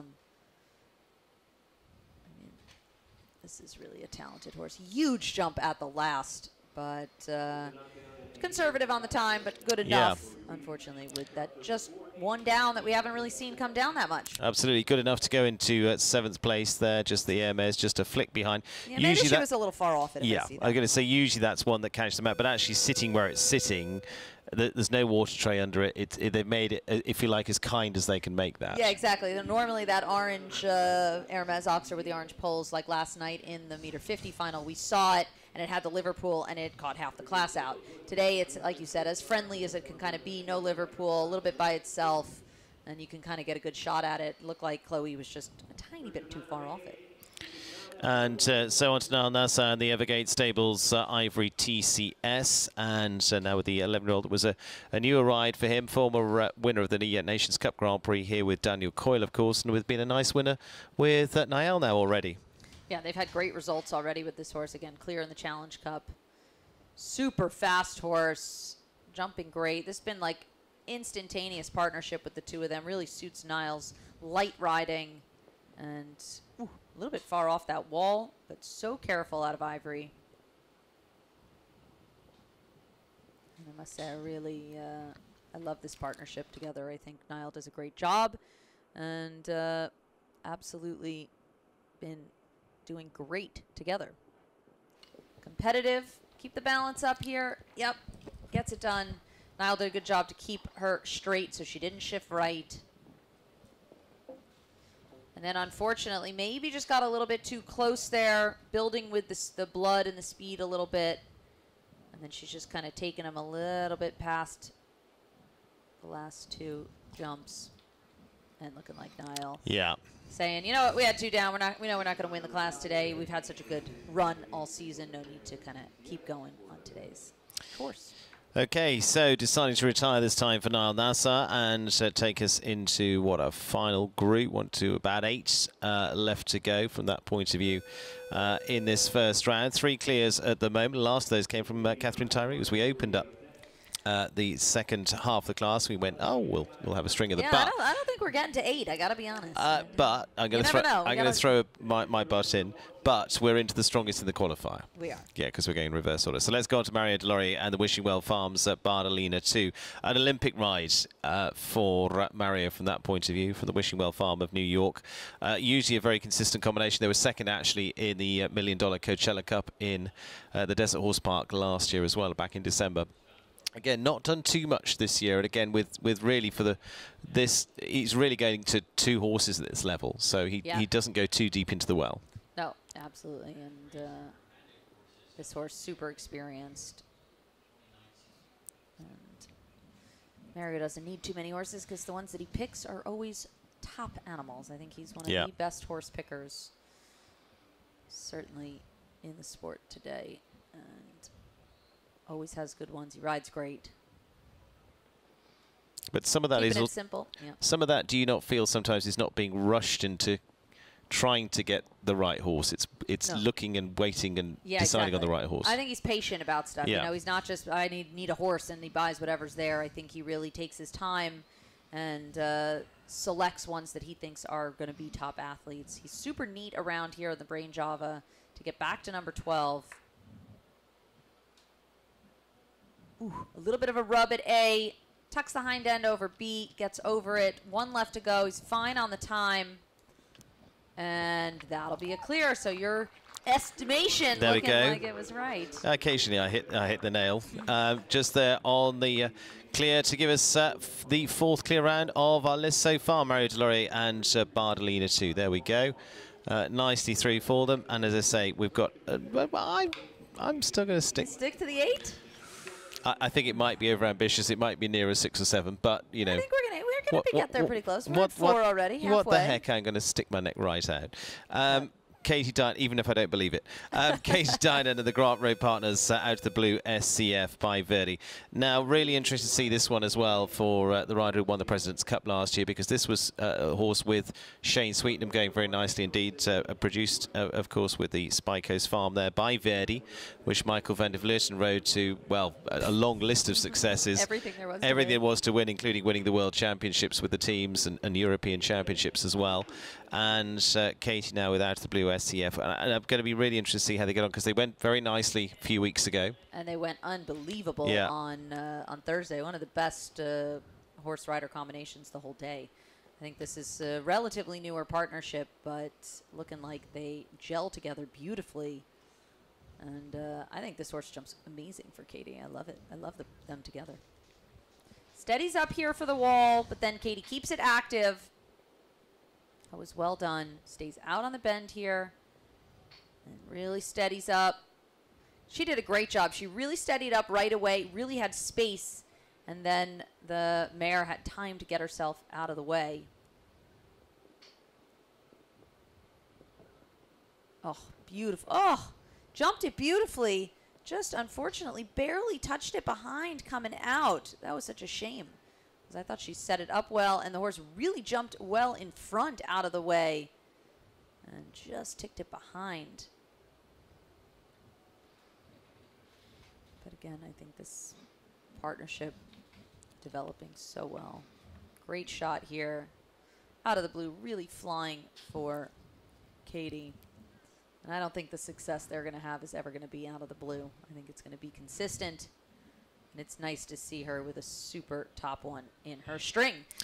Certainly is, and uh, very nicely done, but just on four. Goes into 10th place, and actually the four fault is getting rewarded at the moment uh, with the one fence down there for uh, Katie now to the blue SCF. But I think alongside Brego R&B, uh, this is going to be a really nice horse for her, wh- what we've seen so far. Yeah, absolutely. I think this is going to end up being probably her top Yeah. horse coming up. And look how great she did. A super job there. Just silly light fault coming out of that teal double. Uh, Kathleen Driscoll now, the Plain Bay Farms uh, Casaletto, the Holsteiner by uh, Cascadello.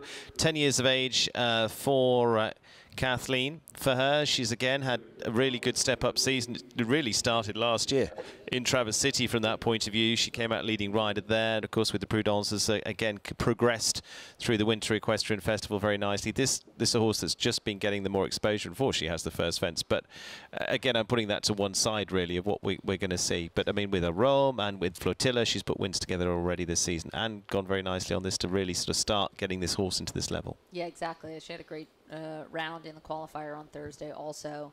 This a very, very scopy horse. Silly to have him jump one down. It's always such a frustrating fault to have, and now she's thinking about being neat and organized. Thing with this horse, he needs a little bit of time at the jumps. So as quick as she wants to be, she knows she needs to take her time because she has to leave the jumps up. Most importantly, she can be neat on her track, but needs to have space on takeoff so that the horse can kind of get that front end out of the way. Well done there. Unfortunately, she will have the back pole of the out of the three. Just looked like maybe started to turn as he was jumping it at the end. Just slightly kind of dove left across it. We'll see if we get a replay of that again. Takes his time through here. Again, this is a really scopy horse. I mean, he'll be able to jump everything there is in the in the world. But uh, today, just having a couple down. But she had a good week regardless. Yeah, finishes on 8 at 75 7 4. And uh, so Casaletto, uh, fence, first fence them, just starts to shape that line a little bit. Yeah, a little bit uh, right to left angle at number one, and then she kind of added leg. You could see her squeeze right at the takeoff and has the front pole. And then here, jumps it, but she's looking like around the turn already early and maybe just kind of shifting left as she gets across it and just doesn't finish the hind end to get across the width of that oxer.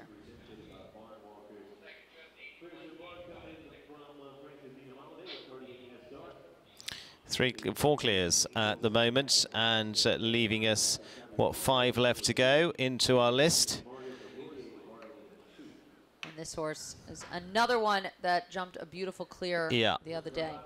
Not surprised to hear that No. with uh, Cornets Cambridge and Nick Dello Joio for the Berry Group. Uh, jumped superbly last year on this 12-year-old by Balou du Reventon, and then, of course, Nick was out with injury himself for a while.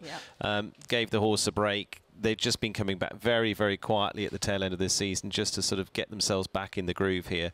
But a really consistent horse, of course, by Balou du Reventon, that was the, the brilliant horse that's been jumped through to, to Arkin with wins with uh, Brian Moggre. Now uh, uh, jumped some amazing rounds uh, later on with Harry Charles, and before that, of course, uh, with Darragh Kenny, and uh, so superbly. But um, I mean, it was one of the most top horses of the year. Yeah, But as say, just had to sit on the sidelines for a while, unfortunately. Yeah, but I think they're back at it now. Yeah. Actually, uh, Harry was saying horses jumping again, and uh, of course, Baloo also doing a lot of breeding in uh, recent years. We've used him a bunch, and it's really uh, it's a good one. It's actually not uh, not super easy, I think, to get semen at the moment.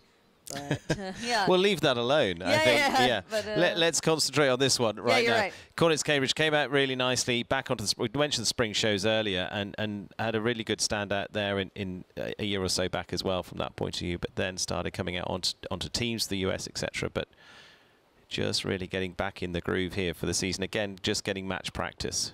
Yeah, and of course Nick was out for a little bit with his own injuries, Yeah. so he's just back up to this level as well. But it's looking like the partnership is just as good as it's always been. Oh, unfortunately, back pole. We've seen that now come down a couple of times this second half, more so than it did in the first half. And uh, horses maybe just anticipating the turn a little bit. I say just a corner. little move in the air there. Yeah, just shifting a bit left. And unfortunately, having C out of the triple, we have not seen that one come down so much. But uh, pretty solid round, but just picking up two. Yeah, two down, finish on eight there for Nick Dello Joio and uh, Cornets Cambridge this time. As I say, uh, watch out for them coming back into action though. And uh, here back to the plank. Jumps this good, but then look, again, almost Yeah. turning a little bit in the air as he jumped that. Maybe just needed to hold him a little bit straighter and then think about the turn. And then here jumps this, just a little bit of a touch there coming out at sea. So taking us to uh, Emily Conter now and uh, Trixie Z. Saw Sister Zoe a little bit earlier on. Again for the Stephex Stables. And uh, by their stallion Tobago Z. It's a little bit of a look of uh, Dad. So Yes, it is. Certainly is. Now, again, similar talent, one hopes. So we've seen them a few times so far this season now. They've been really good again. Yeah. They were super the other day in the qualifier. Yeah, compact little chestnut, just like his dad, Yeah. just like her dad. It's almost as a, a- a an almost a little bit bigger, but pony-esque feel to it. Just really lovely, compact. Yeah, exactly. Short Looks- head to tail. But looks like you'd have power. fun. Yeah, loads of power there. Looks like a really fun horse to ride. Yeah. It's into our top four from qualifying earlier on this week as well. Nice tidy turn back. She's looking good so far. And I Ah. was going to say, you could see the balance as she got through there. And I was thinking maybe they were going to get away with it, but she just balance was a little bit low, head and neck a little bit low on the bent, on the landing side from A, just not able to kind of push off and away from B.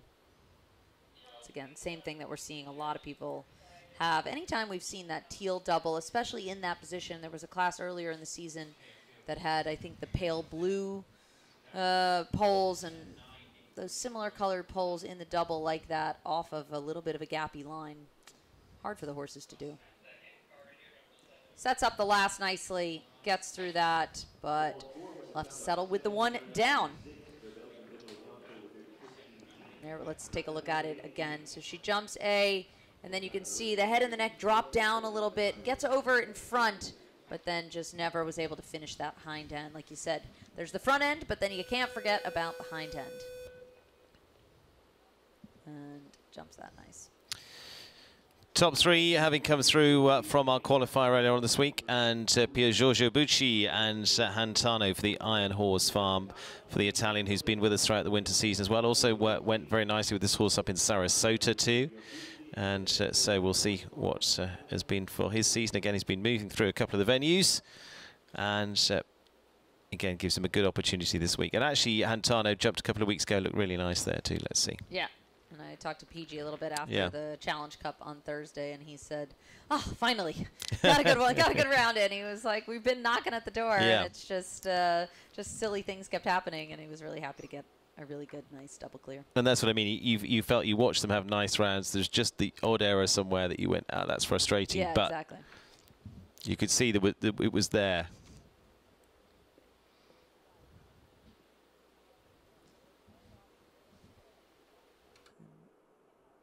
He's looking solid again so far.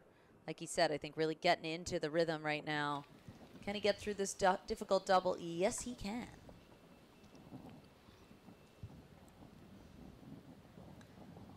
Rides up to number nine. And now the delicate plank. Gets around that. Needs to stay straight here. Ooh. And again, same kind of thing. We're seeing the back pole of that come down. Far more in this second half than in the first half. I don't know if they're just not quite getting up there enough in the three or anticipating the turn a little bit. Has A coming into the triple as well. So unfortunately, not going to be another clear for PG and Huntana today. No, it isn't. It's uh, a total of eight. It's four clears so far, not getting to the eight. Uh, but unfortunately, I thought that was probably going to be the case. no, Um, I don't think so. We're not making it to the eight. we could have a couple yet. Those take us to six, which will get near enough. Uh, and as you say, just been getting there close. They almost got across there again. Yeah, it was just a light fault. Yeah, just felt again. They're just starting to get into the turn, as you say. You've got to clear and go. Yeah, exactly. You got to stay straight, jump it, and then turn. You want to look and use your eye, but sometimes if you do that a little bit of a fraction of a second too early, you can actually throw the balance of the horse off, and then they'll come down out of the air a little too early. But then you watch people like I'm going to take, I'm going to take Kevin Staut as an example. You'll see them over a fence, completely looking Yeah, somewhere jump. else to the next jump. So they do a good job then using just swiveling their head and Yeah. not using their upper body at all. moving like an eagle. Yeah. Um, Carlos Hank Guerrero and H5 uh, Ganesh Hero Z. What a lovely uh, few weeks he's been having as well for the 23-year-old. Uh, Grand Prix winner up at uh, Ocala in the last few weeks as well to really set them up very nicely. Uh, he had a five-star win with uh, Chaco San into the uh, weeks here into the uh, latter part of February there as well into week seven as it would have been for us. Yep. And just has that down unfortunately. Yeah, again, we've seen that now come down two or three times, and uh, not so typical, but it is off that eight strides. You got to make sure you get up to the base of it, and you could stay out and get a little bit lost in that eight, and then just end up slightly off it, and then the triple bar comes becomes a little bit wider. Gets through the difficult difficult double, no trouble at all. But uh, having the back rail the triple bar, oof, and the plank as well. So that plank causing trouble all day long for people. We went through a good run recently where they actually were doing a good job clearing it, but like you said, Carlos has been having a great season. Today, not going to be able to take the win, but certainly a solid round. Keeps moving to the last, gets over that. Time quick enough Yeah. but with the two down. Puts them on eight at 76.68 for uh, Carlos Hank Guerrero there in H5 uh, Ganesh Hero Z. One to come. Uh, look back here at the cask. Triple. Yeah. And, and really essentially jumped it like an oxer. Just yeah, yeah, exactly. Just jump kind of the first two and then really not across the back of that triple bar. Remember, triple bar is significantly wider than anything else on the course, and it's set at 1 meter 56. But in theory, should get you up in the air. It should, right? You should be able to get right to the base, use a little bit extra pace to kind of get right to the base because you don't have to worry so much about the front pole. But uh, if you are a little bit soft at it and tiny bit off, it just Yeah. feels real wide. Yeah, exactly. So, last to go, winner of our uh, qualifier earlier on this week, that Adequan WEF Challenge Cup, Lillie Keenan uh, on the hot form right now, and the Chansonette Farms Ghana Van Het uh, Gerendal side with the uh, Stallion Aggie. Here we go. Uh, can she wrap it up to be a double? I think uh, we might have had two doubles this year. McLain Ward and I think Kent Farrington both won the qualifier and, a Grand Prix. Not an easy Off the top of my head. Not an easy feat to do. Let's see if Lillie can do it. This wonderful stallion of hers. She rode great, I thought, on Thursday. And uh, always hard to Whoop, win. whoop. Big adjustment there, but she gets it done. Always hard to win with a jump off with so many in it, because you know you got to be so fast. But can she keep it together for today, or are we going to be just with four? Ooh, she gets through that double, getting a little bit lower and a little bit close. She's going to have to keep that balance up and make sure. And she's making an adjustment here. Good job. She keeps them straight. Couple more to jump. Looks like he's getting a little bit strong with her. Sets up A, jumps through B beautifully, gets over C. One left to go. She's good on the time. Good ride to the last, and that'll give us five. That gives us five. gets it done again. Lillie Keenan looking for the double here with the Ghana Van Heads, uh, Gerendal Z. So Lillie Keenan uh, brings that home as well. Nicely done for her. That's a very tidy one. And uh, so five into the jump off overall as we complete the first round of this $200,000 IDA Development uh, four-star Grand Prix. And Challenging today. Yeah. Not super easy. We were over eager with our eight as a guesstimation. uh, Absolutely. We'll take the five. We'll take it. We'll take it. And uh, so there are the five. Uh, and it is Nina Mallevaey, uh, Margie Goldstein Engel, Catherine Tyree Flores, Mario Deslauriers, and uh, Lillie Keenan all progressing to the jump off of this IDA Development uh, four star Grand Prix presented by Barn Walkers uh, here this afternoon. Uh, lovely afternoon here in Wellington. Little bit of breeze. Sun is coming down. It's exactly what Palm Beach is supposed to be like. And uh, we will be back in a few minutes' time with the jump off for the decider. Five go in. We'll kick off with France. We've got three for the USA, one for Canada, but certainly we have five uh, top class combinations coming back for that. So, Arena team just uh, going to make some adjustments for the jump off, and we're back with the, the showdown for this uh, Sunday afternoon presentation. Back in a minute.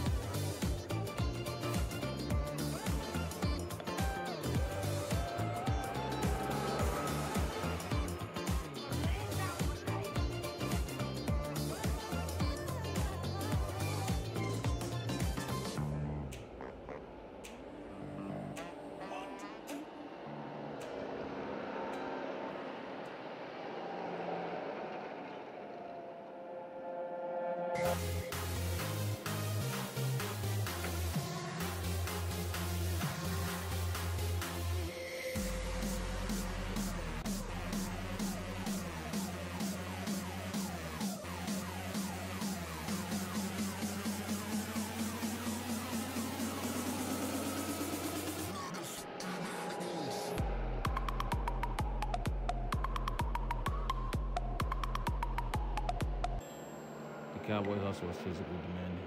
No doubt you gotta be tough. But even more important is your mental fitness. Your brain has to be firing on all cylinders to perform, to be clear, to concentrate, and to focus. I'm a father, a cowboy, a businessman, and a musician, and so much more. I drink Brain Java House Brew, packed with the brain power blend of essential vitamins and minerals my brain needs every day to get it done. Low in natural sugar, low in calories, low in carbohydrates, low in sodium. It's a great natural and healthy alternative to energy drinks. Brain Java. Be mindful, be present,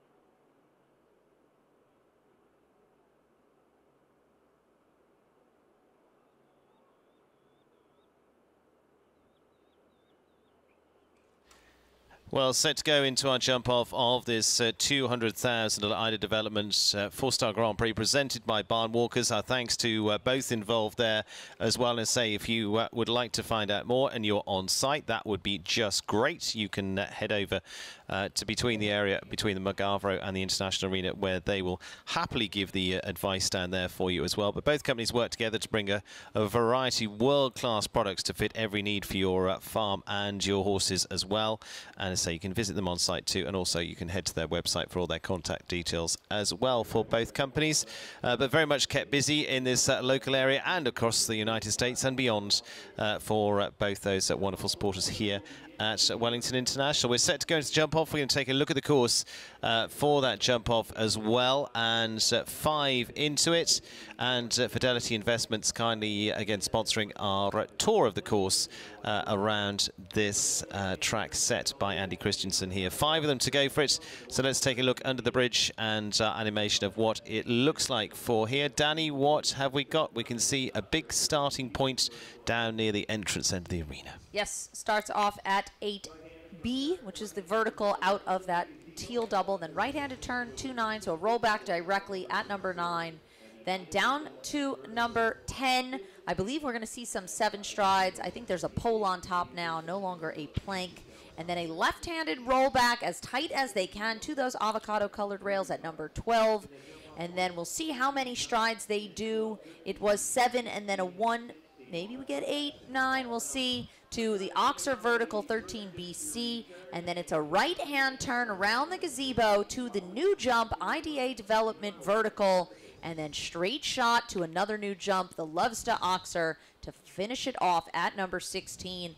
Walked about six and three quarters. We'll see if they can do six or seven strides down that last line. Or if you can do three quarters, we'll see. Yeah, yeah, exactly. Hopefully no three quarters. Uh, three they do. quarters might be a problem. Yeah. Uh, let's go in with uh, Nina Mallevaey of uh, France to start us off, and this is Cartier uh, SR for the uh, Rain family. For the uh, French rider, as I say, was top three into the early Grand Prix, the NetJets Grand Prix, for an all-lady finish there with uh, Tiffany Foster and Luciana Lossio going back to uh, the early weeks. What was that about week three? Uh, we were a month into competition by then. like that? Three, And- four? Yeah, somewhere around that uh, area. But again, she's sh shown some solid form throughout as well and uh, she's going to be our pacemaker of the five. Margie Engelscombe, uh, Kat Tyree Flores, uh, Mario Laurie, and finally Lee Keenan looking for a double. All right, off she goes. One, two, three, four, five, six, seven, eight. One, two, three, four, five, six, seven. Vertical on. Now it's just a pole on top. And now left-handed turn, rolling back on this green avocado oxer. Little skinnier. Four, five, six, seven, eight. Into the oxer vertical, one stride, and now right-handed. Source has a big stride covering the ground to the new IDA development vertical. One, two, three, four, five, six, seven. There is definitely a six there, but she finishes up on a super double clear, 38-41. Yeah, there we go. 38.41 and clear for Nina Mallevaey at Cartier SR. Lovely round uh, put together for them, and so just very tightly puts things together to uh, be a nice uh, target for them to go at here from uh, Nina. So from there, we will go from France to the United States, and uh, one of the most winning most riders here in the US and beyond it as well, Margie Goldstein Engle and the Glade Winds Farms, uh, Jack of Hearts. 66 years young, Miss Margie. Yeah, I think that's a lie. Crazy. But she is unbelievable. Hundreds of Grand Prix wins to her name. Let's see if she can add another one today.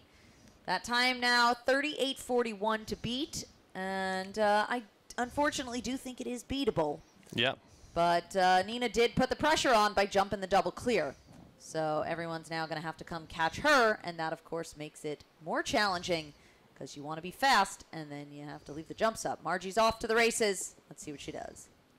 Two, three, four, five, six, seven, eight, nine, ten. I think Nina did eight. Two, four, five, six, seven, eight. She does one more there. She does have the back rail of number nine. Now comes the rollback to the avocado rails. They did narrow this up a little bit. There is a Liverpool under it. Does the nine into the double. Nice shot here. And again, only the five clear, so you know you're guaranteed top spots, but how high up will depend on everybody else. Gets over the last, but a little bit slower and with the one down. Yeah, so puts them on for 41 44 for uh, Margie there. And, uh, well, regardless, is going to have a good finish in this Grand Prix here today. Turning back to the uh, MS fence. Just getting that a little bit on the angle, just got a little too wide for them in the end. Yeah, exactly. She did a couple more strides than Nina did. Maybe she was just a little bit dead on takeoff there. Uh, didn't quite have the power to jump across it. Kat just waving her hand, so they pause her start clock for her. Again, time allowed is 47 seconds in this jump off. Not that that usually plays a role, but just so we are aware. Yeah, absolutely. Uh, it has before. No, it's not going to here because obviously she's round. That we've already got around a 38.41. But you know, if you're going for a steady clear and you're in the top few, know. yeah, you know, you we never did know. actually see a time fault uh, in the jump off last night. Yeah. All right, and she's off. A little bit wider than Nina. I think she did maybe one more stride, but does the seven here. And now she's going to have to be neat back here. Luckily, they did narrow this up, so you can be tight. I think she's slightly wider, but she's still moving. Yeah. One, two, three, four, five, six, seven, eight. And now she's going to have to really run across the middle. This horse has a big stride. She's covering the ground. Will she do six? Let's see. Two, three, four, five, six, seven. No. So does the nice steady seven. Very quick, but not fast enough. Yeah, 40.33, so goes into second there for Kat Tyree Flores and uh, Camilla Zed for them. So Nina Mallevaey keeping the lead at the moment, 38.41. Uh, very nice, though. Yeah, I think, you know, solid round. really tidy in front horse. You know, it looks a, looks a nice powerhouse that's going to keep keep coming along. Yeah, I mean, I think a beautiful double clear for Kat. Yeah. I don't think she'll be too disappointed with the top finish like that. Mario Deslauriers now, and uh, the Canadian with uh, Bardolina 2 for the Wishing Well Farm. All His right. Olympic ride has the ability here, as I say, finished second in the million dollar class in December. Uh, there's some some space here, 38.41, the time to beat. He does the eight like Nina. This horse has a huge stride. I bet he'll be able to do the six if the jumps are all still up by then. Trying to be quick here. And takes the first one. That was a good shot. Yeah. He kept the leg on, made sure to get through it, to get steady up here for the double. And now he's going to have to run. Again, this horse has a tremendous stride. Can he keep the jumps up? Ooh. Steady's up for the seven, but pretty quick, and I think quick enough. It is quick enough. 37.23 takes just over a second off the time. And so Mario Deslauriers now in front with Bardolina 2. Nina Mallevaey in second with uh, Cartier SR, leaving one to come in the uh, jump off here this afternoon. Mario, Good home and here. Yeah, I mean, that was a super ride. Horse has a tremendous stride to cover the ground. But we're going to have to see with the one left, winner from our Challenge Cup, can Lillie catch him? New time, 37.23. And by my quick looking down, would be the third combination if they could do it this season to win the Challenge Cup and the Grand Prix. And I'm going to correct myself a little. It was Ben Maher. Ah, it Ken, was Ben. Ken, Ken has done it in the past. Ben Maher uh, did it back onto week one, and of course McLain Ward last week as well onto week 10. Yep. So it could be the third time for the season if uh, Lillie Keenan can pull this off, and she could well do that. We will see. She see. certainly could. She's very fast on this combination as they won a 17 horse jump off the other day. Let's see if Lillie can catch Mario, who put in a very solid round. I don't think Lillie will attempt the six down the last line. I think Mario might have been our only one that really could have done that, but uh, he stayed patient. I just feel this pair may have a bit more foot speed. They do. They have a lot of foot speed, and she is off to the races to number one, but she's got to leave the jumps up. Oh, great shot here. Beautifully ridden. Three, four, five, six, ste- seven. Steadies up in the seven. Now she's going to be tight. This is super tight. Got to keep going. Puts the leg on. Great shot. Does the eight. Has to leave the jumps Ooh. up. Come on, Yeah. Aggie. She's inside of Mario's tracks. Can she keep it up here? Takes a good angle here. Three, four, five, six, seven. Clears it. Does she catch him? I think She's she going to. does. She's going to. 35, 75 takes another second and a half off. She'll do the double.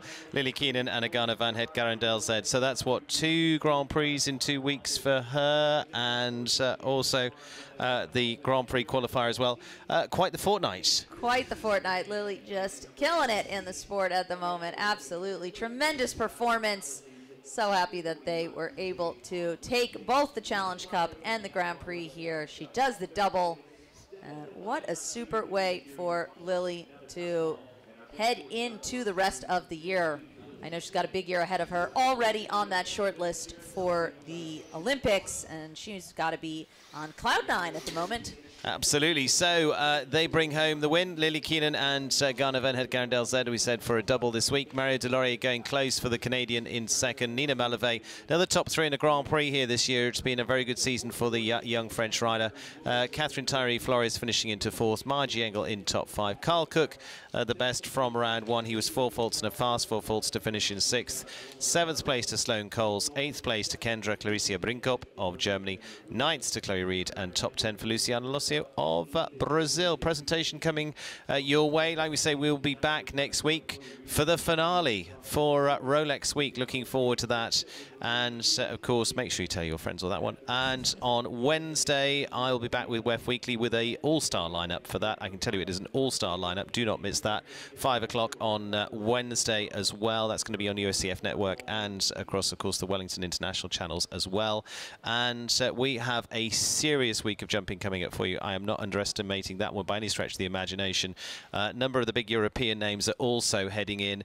Uh, it is going to be a gloves-off week here in Wellington. Look forward to it. And uh, our final punch of this week has been landed by uh, Lillie Keenan and Agana. Presentation coming up as our team just make their way across and uh, I will introduce you to them as they uh, head into position as well. And a thanks to IDA Development, uh, their motto, you dream it, we build it, from barns, homes and custom areas to stalls, walkers and treadmills to rubber flooring, and an exclusive distributor of Equitan flooring as well.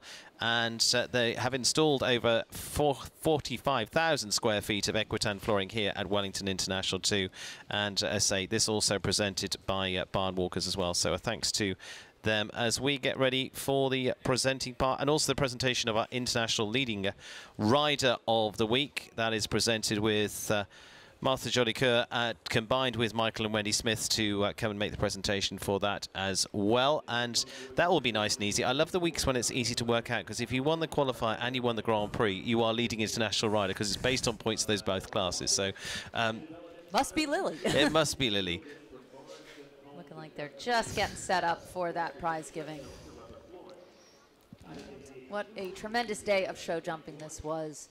Can't believe week 11 concluding here. Yes.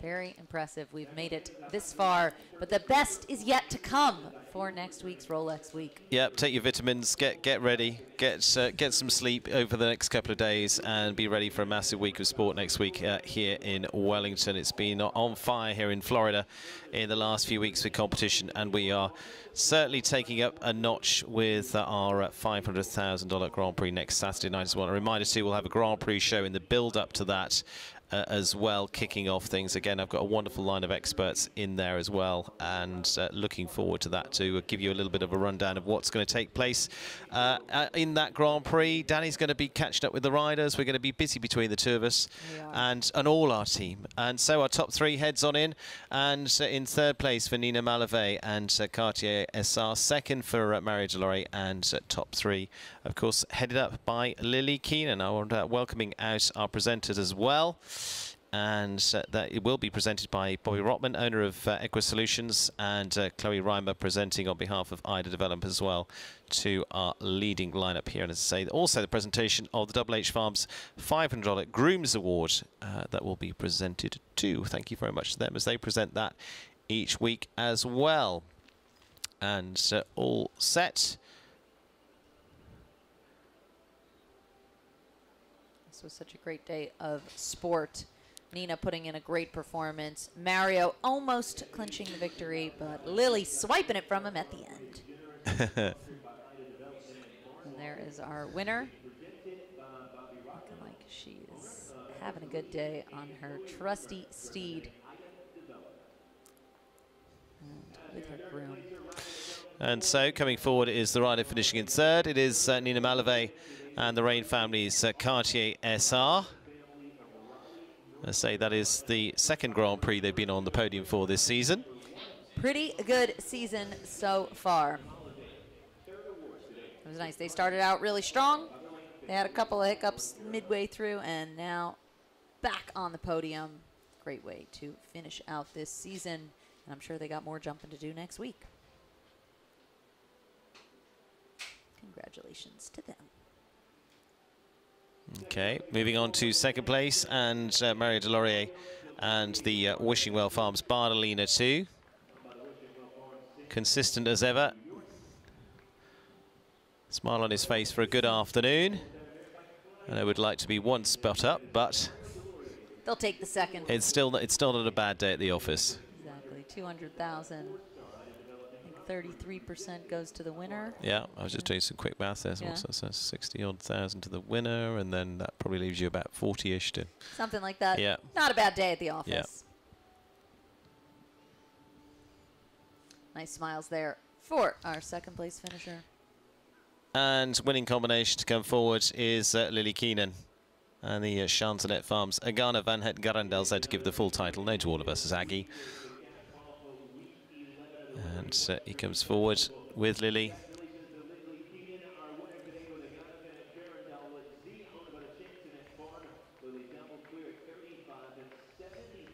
And a great week for Lillie here at the IDA Development.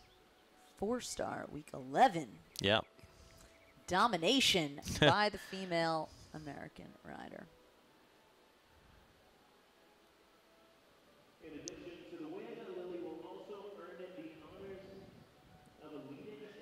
And yeah, just confirmed, as I suspected, uh, even my maths can run to that one. uh, leading international rider this week as well, of course, being uh, Lillie Keenan, winning both the Grand Prix and the Grand Prix qualifier, of which those points are based across as well. And uh, there to Michael and Wendy Smith, and joined uh, by, of course, Martha Jolicoeur as well to present, and uh, with uh, Dr. Stephen Norton presenting the awards. Aggie looking excited for his win. But I'm sure they'll get a good picture.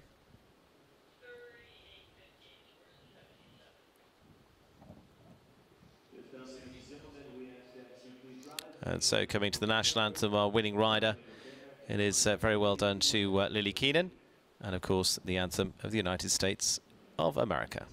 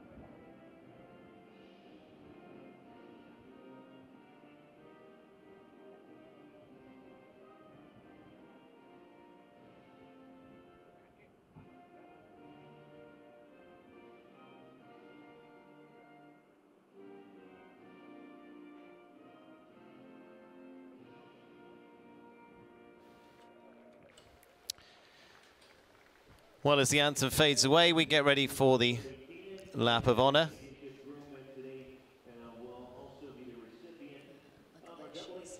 Getting ready. Well done to all of our winners here. Oh, looking like another award. Yeah, first. Grooms Awards. There we go. Double H Farm Grooms Award going to uh, the Chansonette team there. Well done. Love to see that support of the support staff that we cannot do any of this sport without. Well rewarded for their efforts. And so it is victory gallop time for Lillie Keenan and uh, Agana as they set off. It rounds off uh, week 11 at the Winter Equestrian Festival. We're ticking off the weeks Uh, and uh, as much as it's been exciting, it's almost slightly sad to be getting close to the end. But we are excited for next week because it is going to be something special indeed. Like I say, we have some uh, real firepower coming to town uh, next week here in Wellington. So make sure you tune in a week. We'll actually bring you classes from Wednesday. Uh, we've got a ranking class on Wednesday. Thursday, of course, is the Grand Prix qualifier. Friday is the usual shootout there as well in the one rounders, and then Saturday a night for that uh, Rolex Grand Prix as well. So all of that to come, and uh, no doubt she'll be a part of that too. But a super week, double up for uh, Lillie Keenan. Thanks, Danny, for joining us. And uh, I've left much of it in your hands this week. Yep. And I will be back in full flow next week as well with, with Danny and all the team. Uh, we look forward to that. Uh, for now, from here in Wellington, have a good couple of days. We'll see you soon. Thanks, everyone.